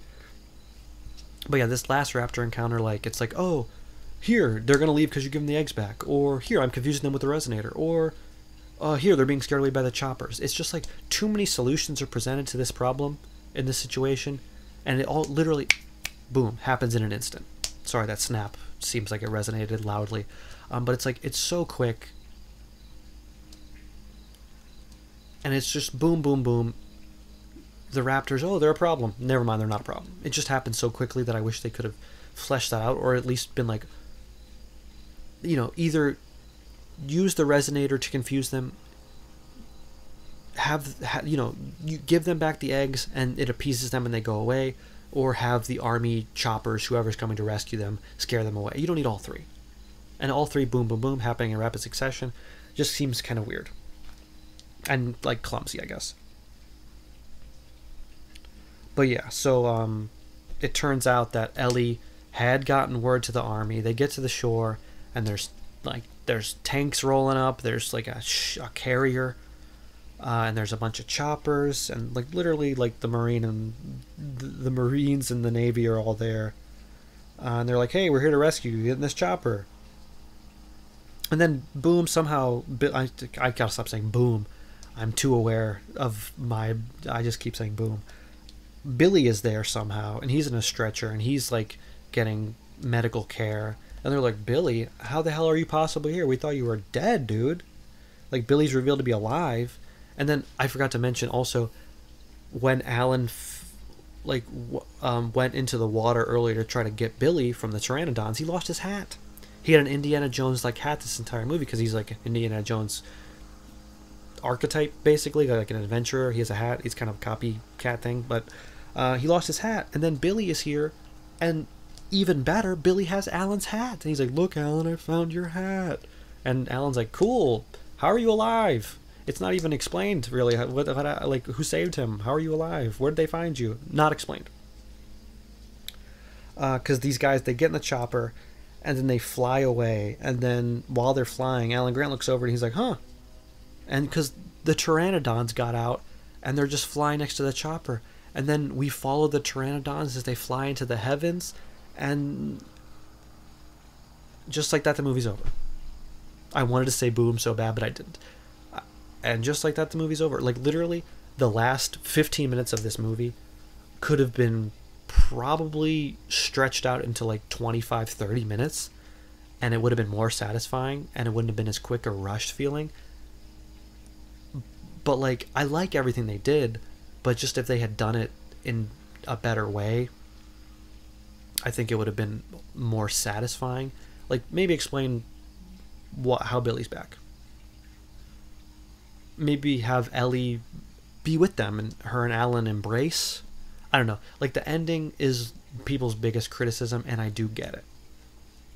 Again, I don't think this movie deserves as much hate as it gets at all because people hate this movie pretty much in its entirety. But I kind of get the ending. Like the like the movie literally for the first hour and 15 minutes is awesome. Lights out gangbusters. They're killing it. But like at the end, people have some complaints because it's like abrupt and rushed, and I get it because literally the movie's over. I don't have any more notes. That's it. Uh, there isn't even really like a satisfying line about like life finds a way. Or you know, Mr. Hammond, I'm gonna give your park an unsafe grade or whatever. Nothing like that really. It's just kind of over. Um, but yeah, so I'll, I'll get to like my final stuff. Uh, I must say, yeah, the the best sequence is not anything after the last like after the hour and ten minute mark. It's um, the Pteranodon cage sequence, which is one of the best sequences in any Jurassic Park movie ever. And the initial landing sequence where they try to take off again, they crash into the Spinosaurus, and the Spinosaurus like hunts and kills a bunch of their party. That scene is also really awesome. Like, and I think there's a lot of great visual stuff in that last Spinosaurus fight scene, because like I mean, there's the fire on the water, and it's raining, um, and like there's a lot of close-up shots as like the our main characters are like sucked into the water and almost drown. Like that's there's some great stuff there, but it's just too too rushed. Um, best performance, I gotta say, I think it's got to be Alessandro Nivola, who plays Billy Brennan, because I think he's actually really great. Um, I think he's like more of a swashbuckling adventurer than Alan Grant is. Like I think he's much more akin to Indiana Jones than even Dr. Grant. Because I think I mean Dr. Grant's whole thing is that he's like a scientist first, and that he's kind of like stiff. Um, at least that's how he was in the for- the first one. And this one he's like less like that. But still, I think Billy is more like this is Billy's element.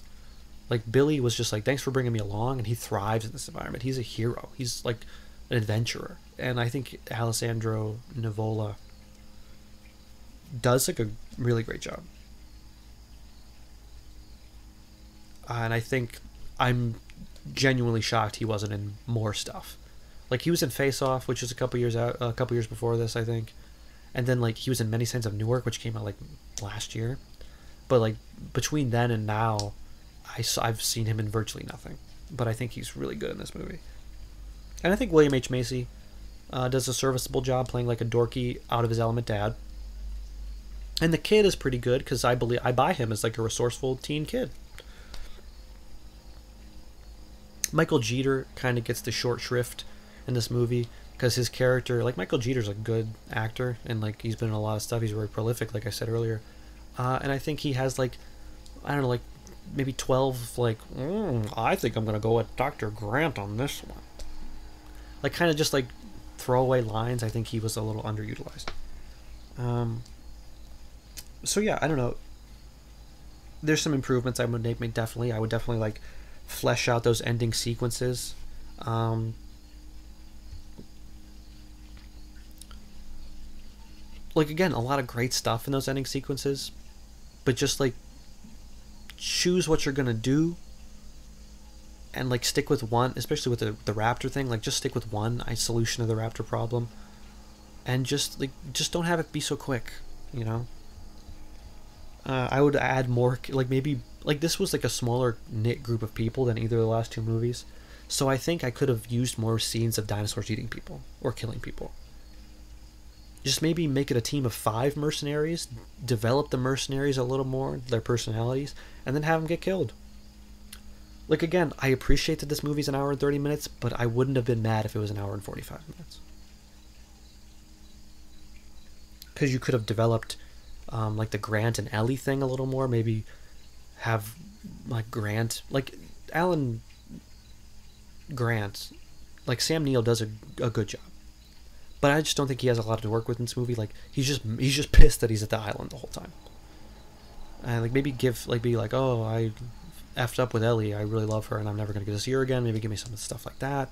Like I don't know, just like this movie's an hour and a half. Love it if it was an hour forty five. And that being said, of course, there's a lot to like. Like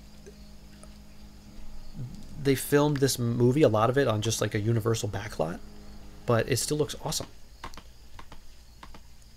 Like the scene in the river was just like the same backlot that they used for Creature from the Black Lagoon. And I just it's like it looks great. It looks awesome.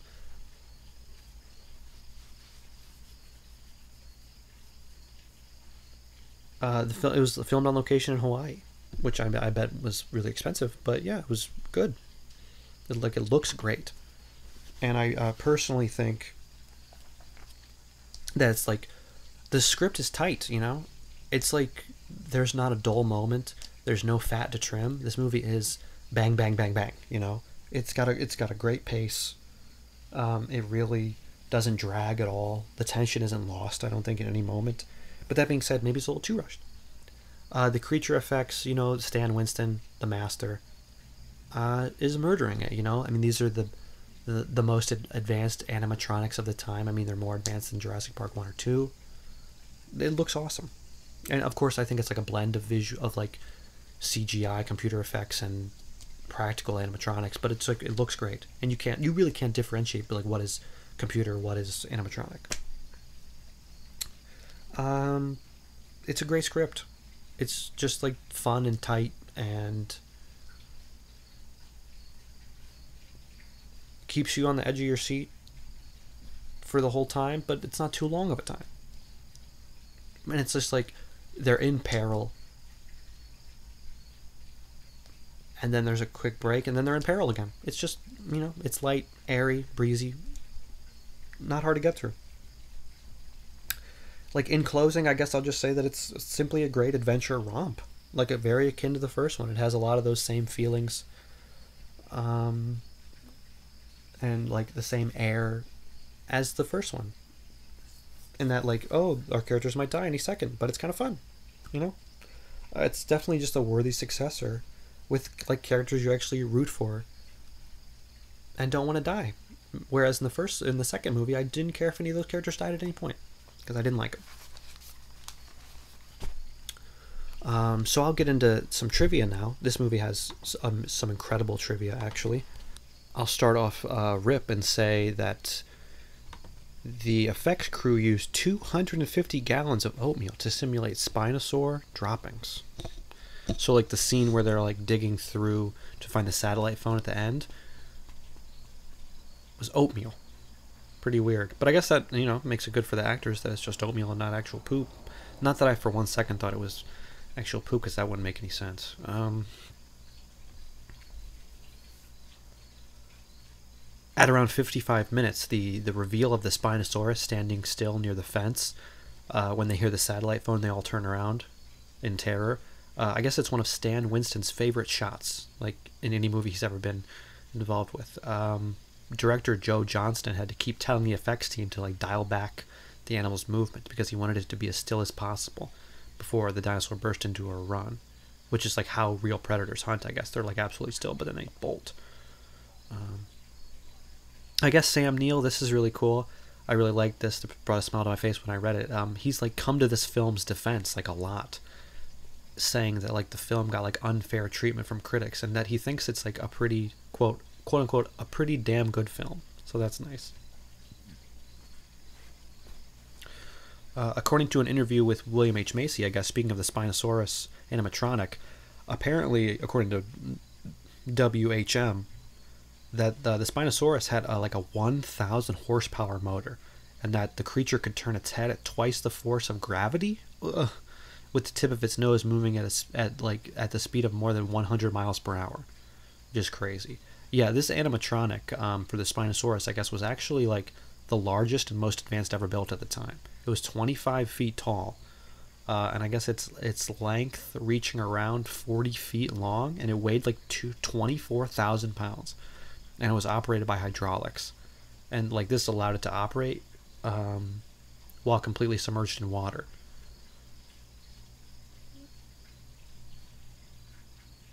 But it ended at uh, like just behind the hip, so any other like so that any shots like that showed more than this had to be computer generated. So the tail, I guess.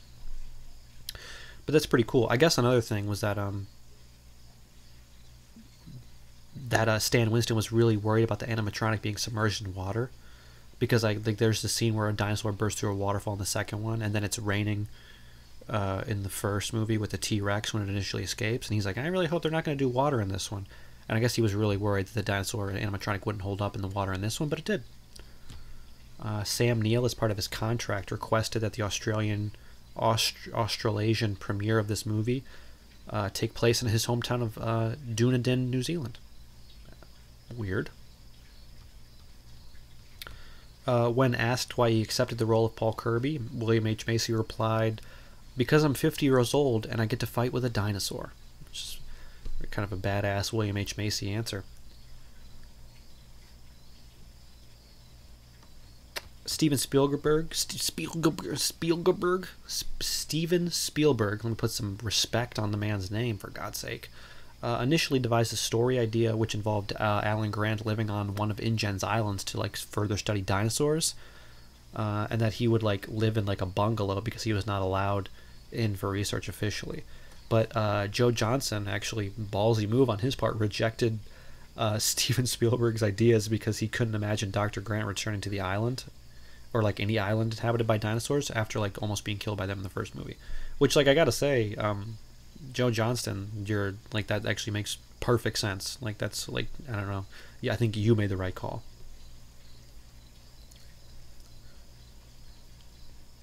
Uh, like I said, oh, the velocirating, the Velociraptor resonating chamber that Billy shows Dr. Grant is actually a dog's. Uh, Jeff Goldblum confirmed in an interview that he was not invited back to reprise his role as Ian Malcolm, even though he would have. They, they didn't want him, which I don't blame him. That character sucks. Um, and he was like, he was like everyone's like least favorite character from Jurassic Park One. He's so annoying. And then he's like, oh, the main character in the second one.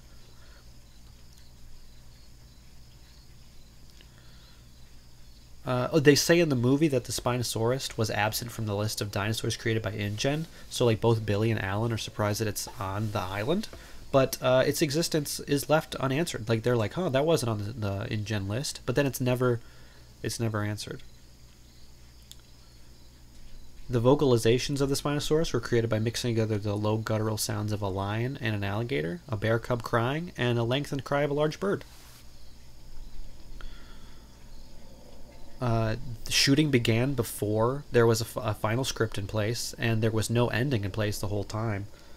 Um, so I guess uh, it was like a really uh, kind of n- nerve-wracking, kind of hectic uh, shooting because they just like, they had no idea what they were going to do from day to day. Um,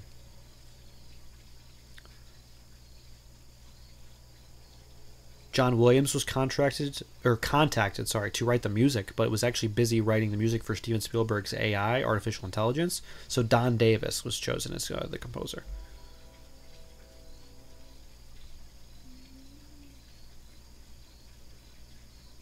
It's the first Jurassic Park movie without a book counterpart because uh, Jurassic Park, you know, was an established book by Michael Crichton, and then Steven Spielberg and David Koepp adapted it, and then they they Michael Crichton wrote the Lost World Jurassic Park in 1995, and they adapted that into a movie in 1997. And then for this one, they were just flying by the seat of their pants. And uh, I think, uh, all things considered, it worked out.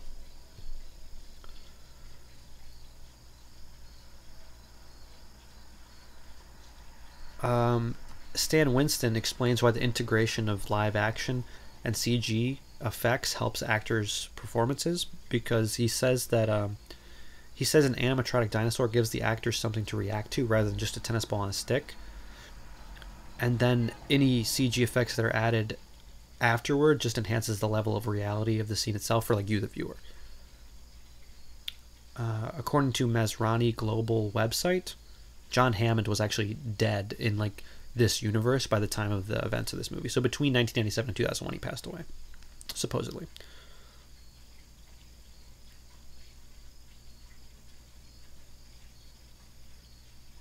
A full uh, size pteranodon suit, I guess, was made but never used in the movie because I think they used animatronics and CG, so like uh, nothing that a person could get inside, even though that was made. So that's pretty neat.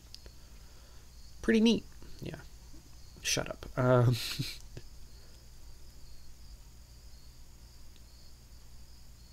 Joe Johnston had originally lobbied to direct the Lost World Jurassic Park, but uh, was turned down when Spielberg decided to return.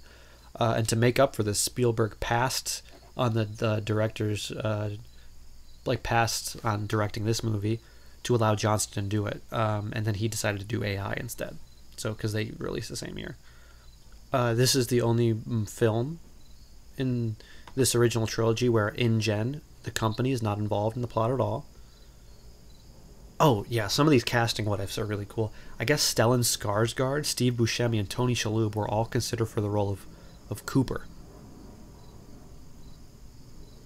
which I guess maybe they all passed on it because Cooper is like the first mercenary to die, and it's a really small role. But like I could, I would have loved to see one of those guys. Tony Shalhoub is a mercenary. Um, that'd be sick.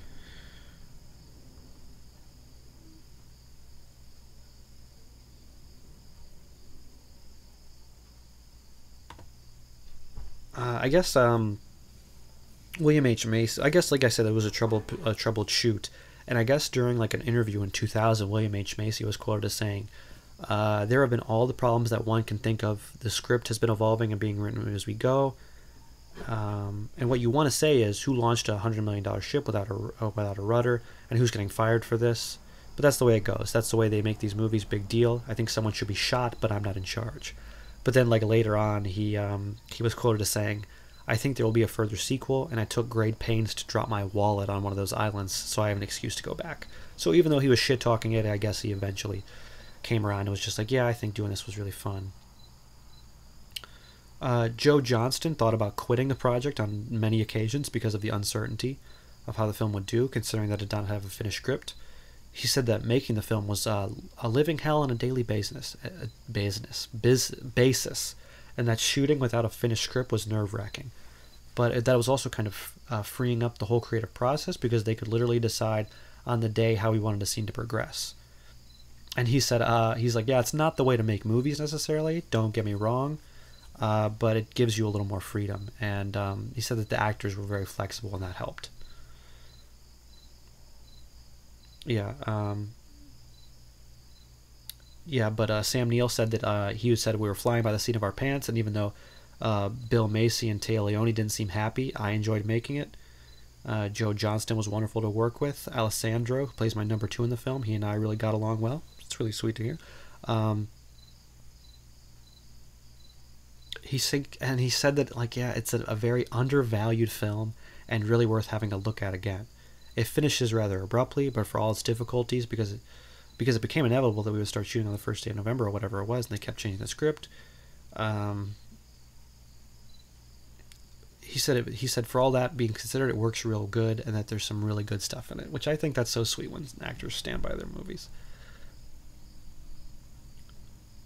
The T Rex animatronic was actually the same animatronic used for uh, Jurassic Park 2.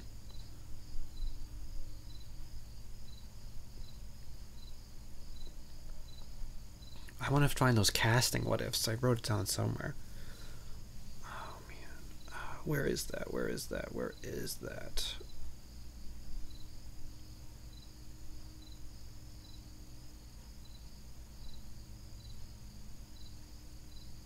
Oh, well, this is not the same thing, but I guess Stephen Sommers and Jan de Bont were both in the running to direct when Steven Spielberg declined. Uh, I'm glad I went to Joe Johnston because I think he's better at like comfy adventure films uh, but like, uh, St- you know, Jan de Bont and Stephen Sommers, I think both might have done a cool job.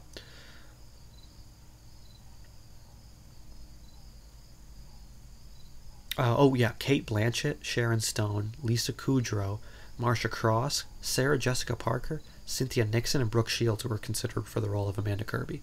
Now, like Brooke Shields, Lisa Kudrow, Sharon Stone, and Cate Blanchett, I would have loved any of those. All of those would have been great. I think all of those probably would have been better than Téa Leoni. Hopefully, she doesn't come after me. That would be awful. But you know, I just gotta be honest. Um, okay, and Gabriel Byrne, Ray Liotta, Robert Patrick, William Sadler, M- Mark Harmon, Stephen Lang, Liam Neeson, Andy Garcia, and Matthew Broderick were considered for the role of Paul Kirby. And whether those actors um, were were passed on or they passed themselves. I actually think that William H Macy is probably the best choice out of all those guys. I think um, Gabriel Byrne, Ray Liotta, Robert Patrick, William Sadler, Mark Harmon, Liam Neeson, and Andy Garcia would have all been too like domineering and like confident and tough guys to play like a whelp who doesn't know what he's doing is out of his element. Um,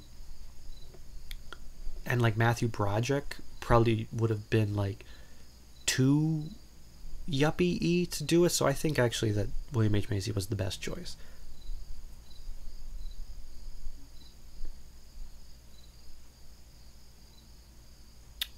Oh, an uh, interesting one. Uh, one of the reasons that Tyrannosaurus is not featured in this movie very much is because the animatronic puppet was damaged at the neck. Uh, because the Spinosaurus animatronic was so big and powerful that it destroyed the robot with one hit and I guess this left many of the crew stunned, shocked, and even some some of them mourned for the animatronic. Uh, with Joe Rosengrant saying that that was a really sad ending to a long night of shooting. The Spino threw one final blow and broke the T Rex's neck. The head collapsed, the neck tore open in the back, and the hydraulic fluid shot out of it, almost like blood spurting. Because of this mishap, I guess this would eventually be the scene where the Spinosaurus towers over the T Rex after killing it. So I guess uh, uh, people were pretty bummed out.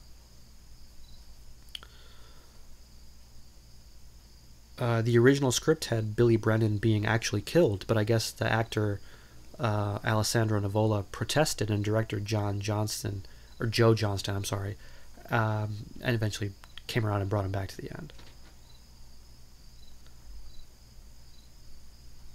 Uh, first time in the franchise that a T Rex is killed and a raptor is not.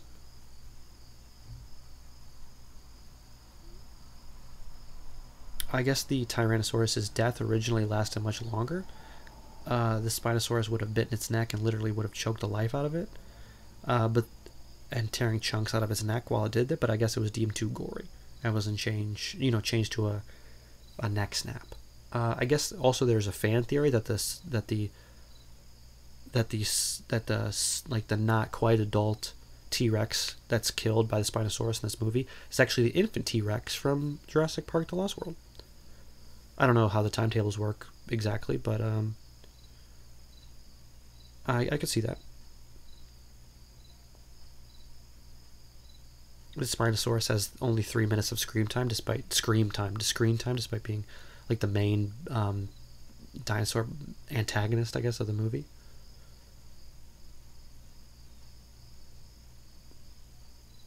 Um, uh, yeah, it is unknown how Billy survived but it can be assumed that he just washed downriver to um, to the shore because that's where they were going anyway, and was found by the rescue party. But again, you could have just said that. Um, okay, what did I? Oh yeah, okay. I just uh, I guess uh, I'll do like I, I I researched some articles and I'll just do like some rankings really quick, uh, or I'll just discuss some of the rankings and articles that I found. Uh, first one's from Collider by uh, uh, Perry N- Nemiroff, uh, and which ranks the Jurassic Park movies from, from worst to best. Um, Jurassic uh, World Fallen Kingdom was ranked as the worst, whereas Jurassic Park 3 came in fifth. So Jurassic Park 3, according to Collider, is like the second worst Jurassic Park movie, with, I believe, um, Jurassic World Dominion, The Lost World Jurassic Park being next, then Jurassic World at number two, and Jurassic Park at number one, classically. Um, I think all of these have Jurassic Park at number one, and that's, you know, pretty obvious. But, you know, there's some nuance and some variation in the in the others. Uh, oh, this uh, Vulture article, courtesy of who wrote this? Uh, by Tim Grierson and Will Will Leitch. Uh, actually ranks Jurassic Park 3 as the worst one. Saying, but then also they go on to say that Jurassic World is in number 5, Jurassic World Dominion at number 4, Jurassic World Fallen Kingdom at number 3, and then The Lost World and Jurassic Park OG is number 1. Which, like, no offense, I'm discrediting this Vulture article right now. It take it took two people to um, uh, come up with these bogus whack opinions. Jurassic World is definitely like not number five. Sorry. Um, and again, I'll give you guys all the links to these articles so you can, you know, compare yours. You know, rank them yourself, do some comparison like we usually do. So, um, so this uh, Screen Rant article, which ranks them by watchability, uh, has Jurassic World: Fallen Kingdom at number six.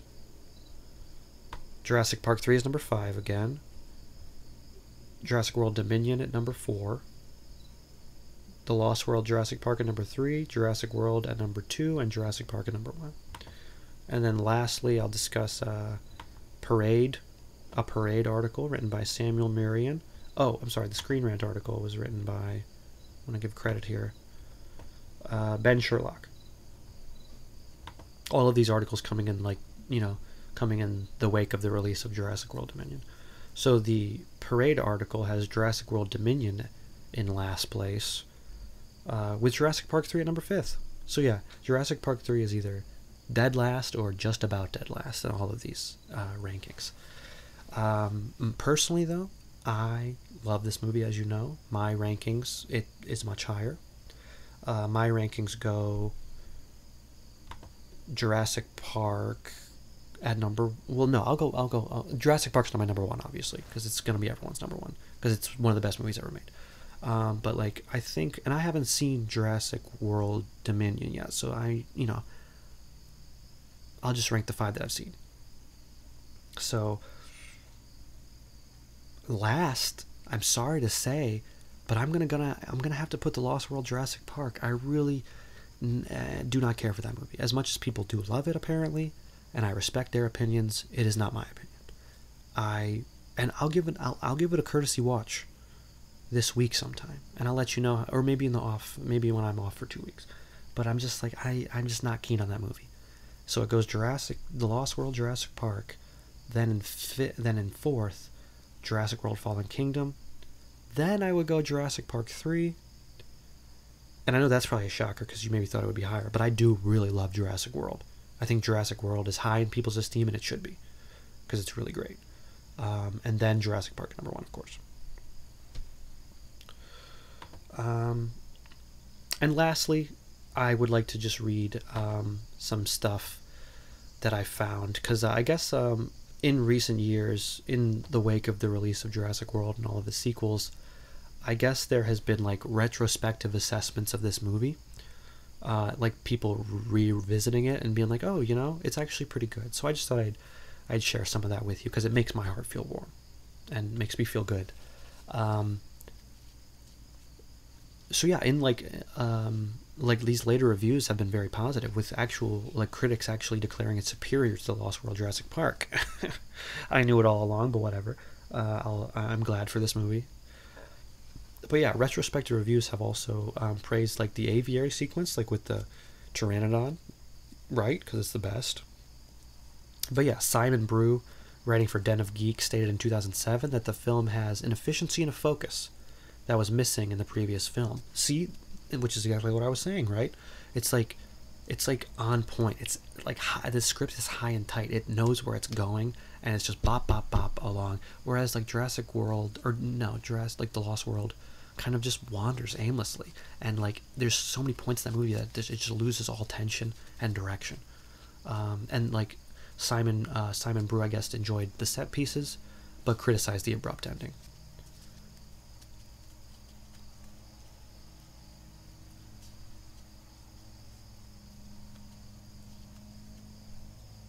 Um, but yeah, several critics reviewed the film in 2015, like I said, when Jurassic World was released. Justin Harp of Digital Spy wrote that despite the shortcomings of Jurassic Park 3, it remains immensely watchable and visually impressive. It manages to strike a clear balance between moments of terror and genuine laughs. Although Harp did consider the film to be the black sheep of the series, black sheep of the series, he described it as fresh, exciting, and most of all, a whole lot of fun.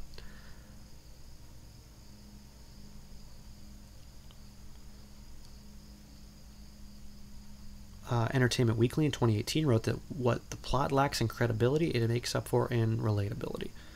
Uh, the magazine praised it as the only film in the series that has zero to do with scientific stupidity or sinister corporate forces, writing uh, that it was perhaps the most narratively original film out of all of them. Which, like, I get that because, like, I mean, like, it's like all these scientists and like research, and they're talking about how dinosaurs came back, and like all there's all this like because like there's a paleobotanist, paleontologist, there's all these different scientists and experts throwing around this jargon that I don't know if every man necessarily understands, or like corporate espionage between like companies wanting to use a dinosaur DNA and recreate them for profit. It's just like I think this is like the most like easily attainable, and like a person can really just grab onto this movie and go for a ride without any qualms or hangups about it. So yeah, I just thought that that was really great. How like, um, and also I just think the idea of people like I mean like retrospective assessments of movies like how people loved American Beauty but now after this Kevin Spacey stuff they're like oh maybe that movie isn't as good. I just love the idea obviously of people giving movies second chances, second, third, fourth chances cuz like you never really I don't know, it's just like it all depends on that moment in time that you saw it, what was going on. There's so many external and, and internal factors that can like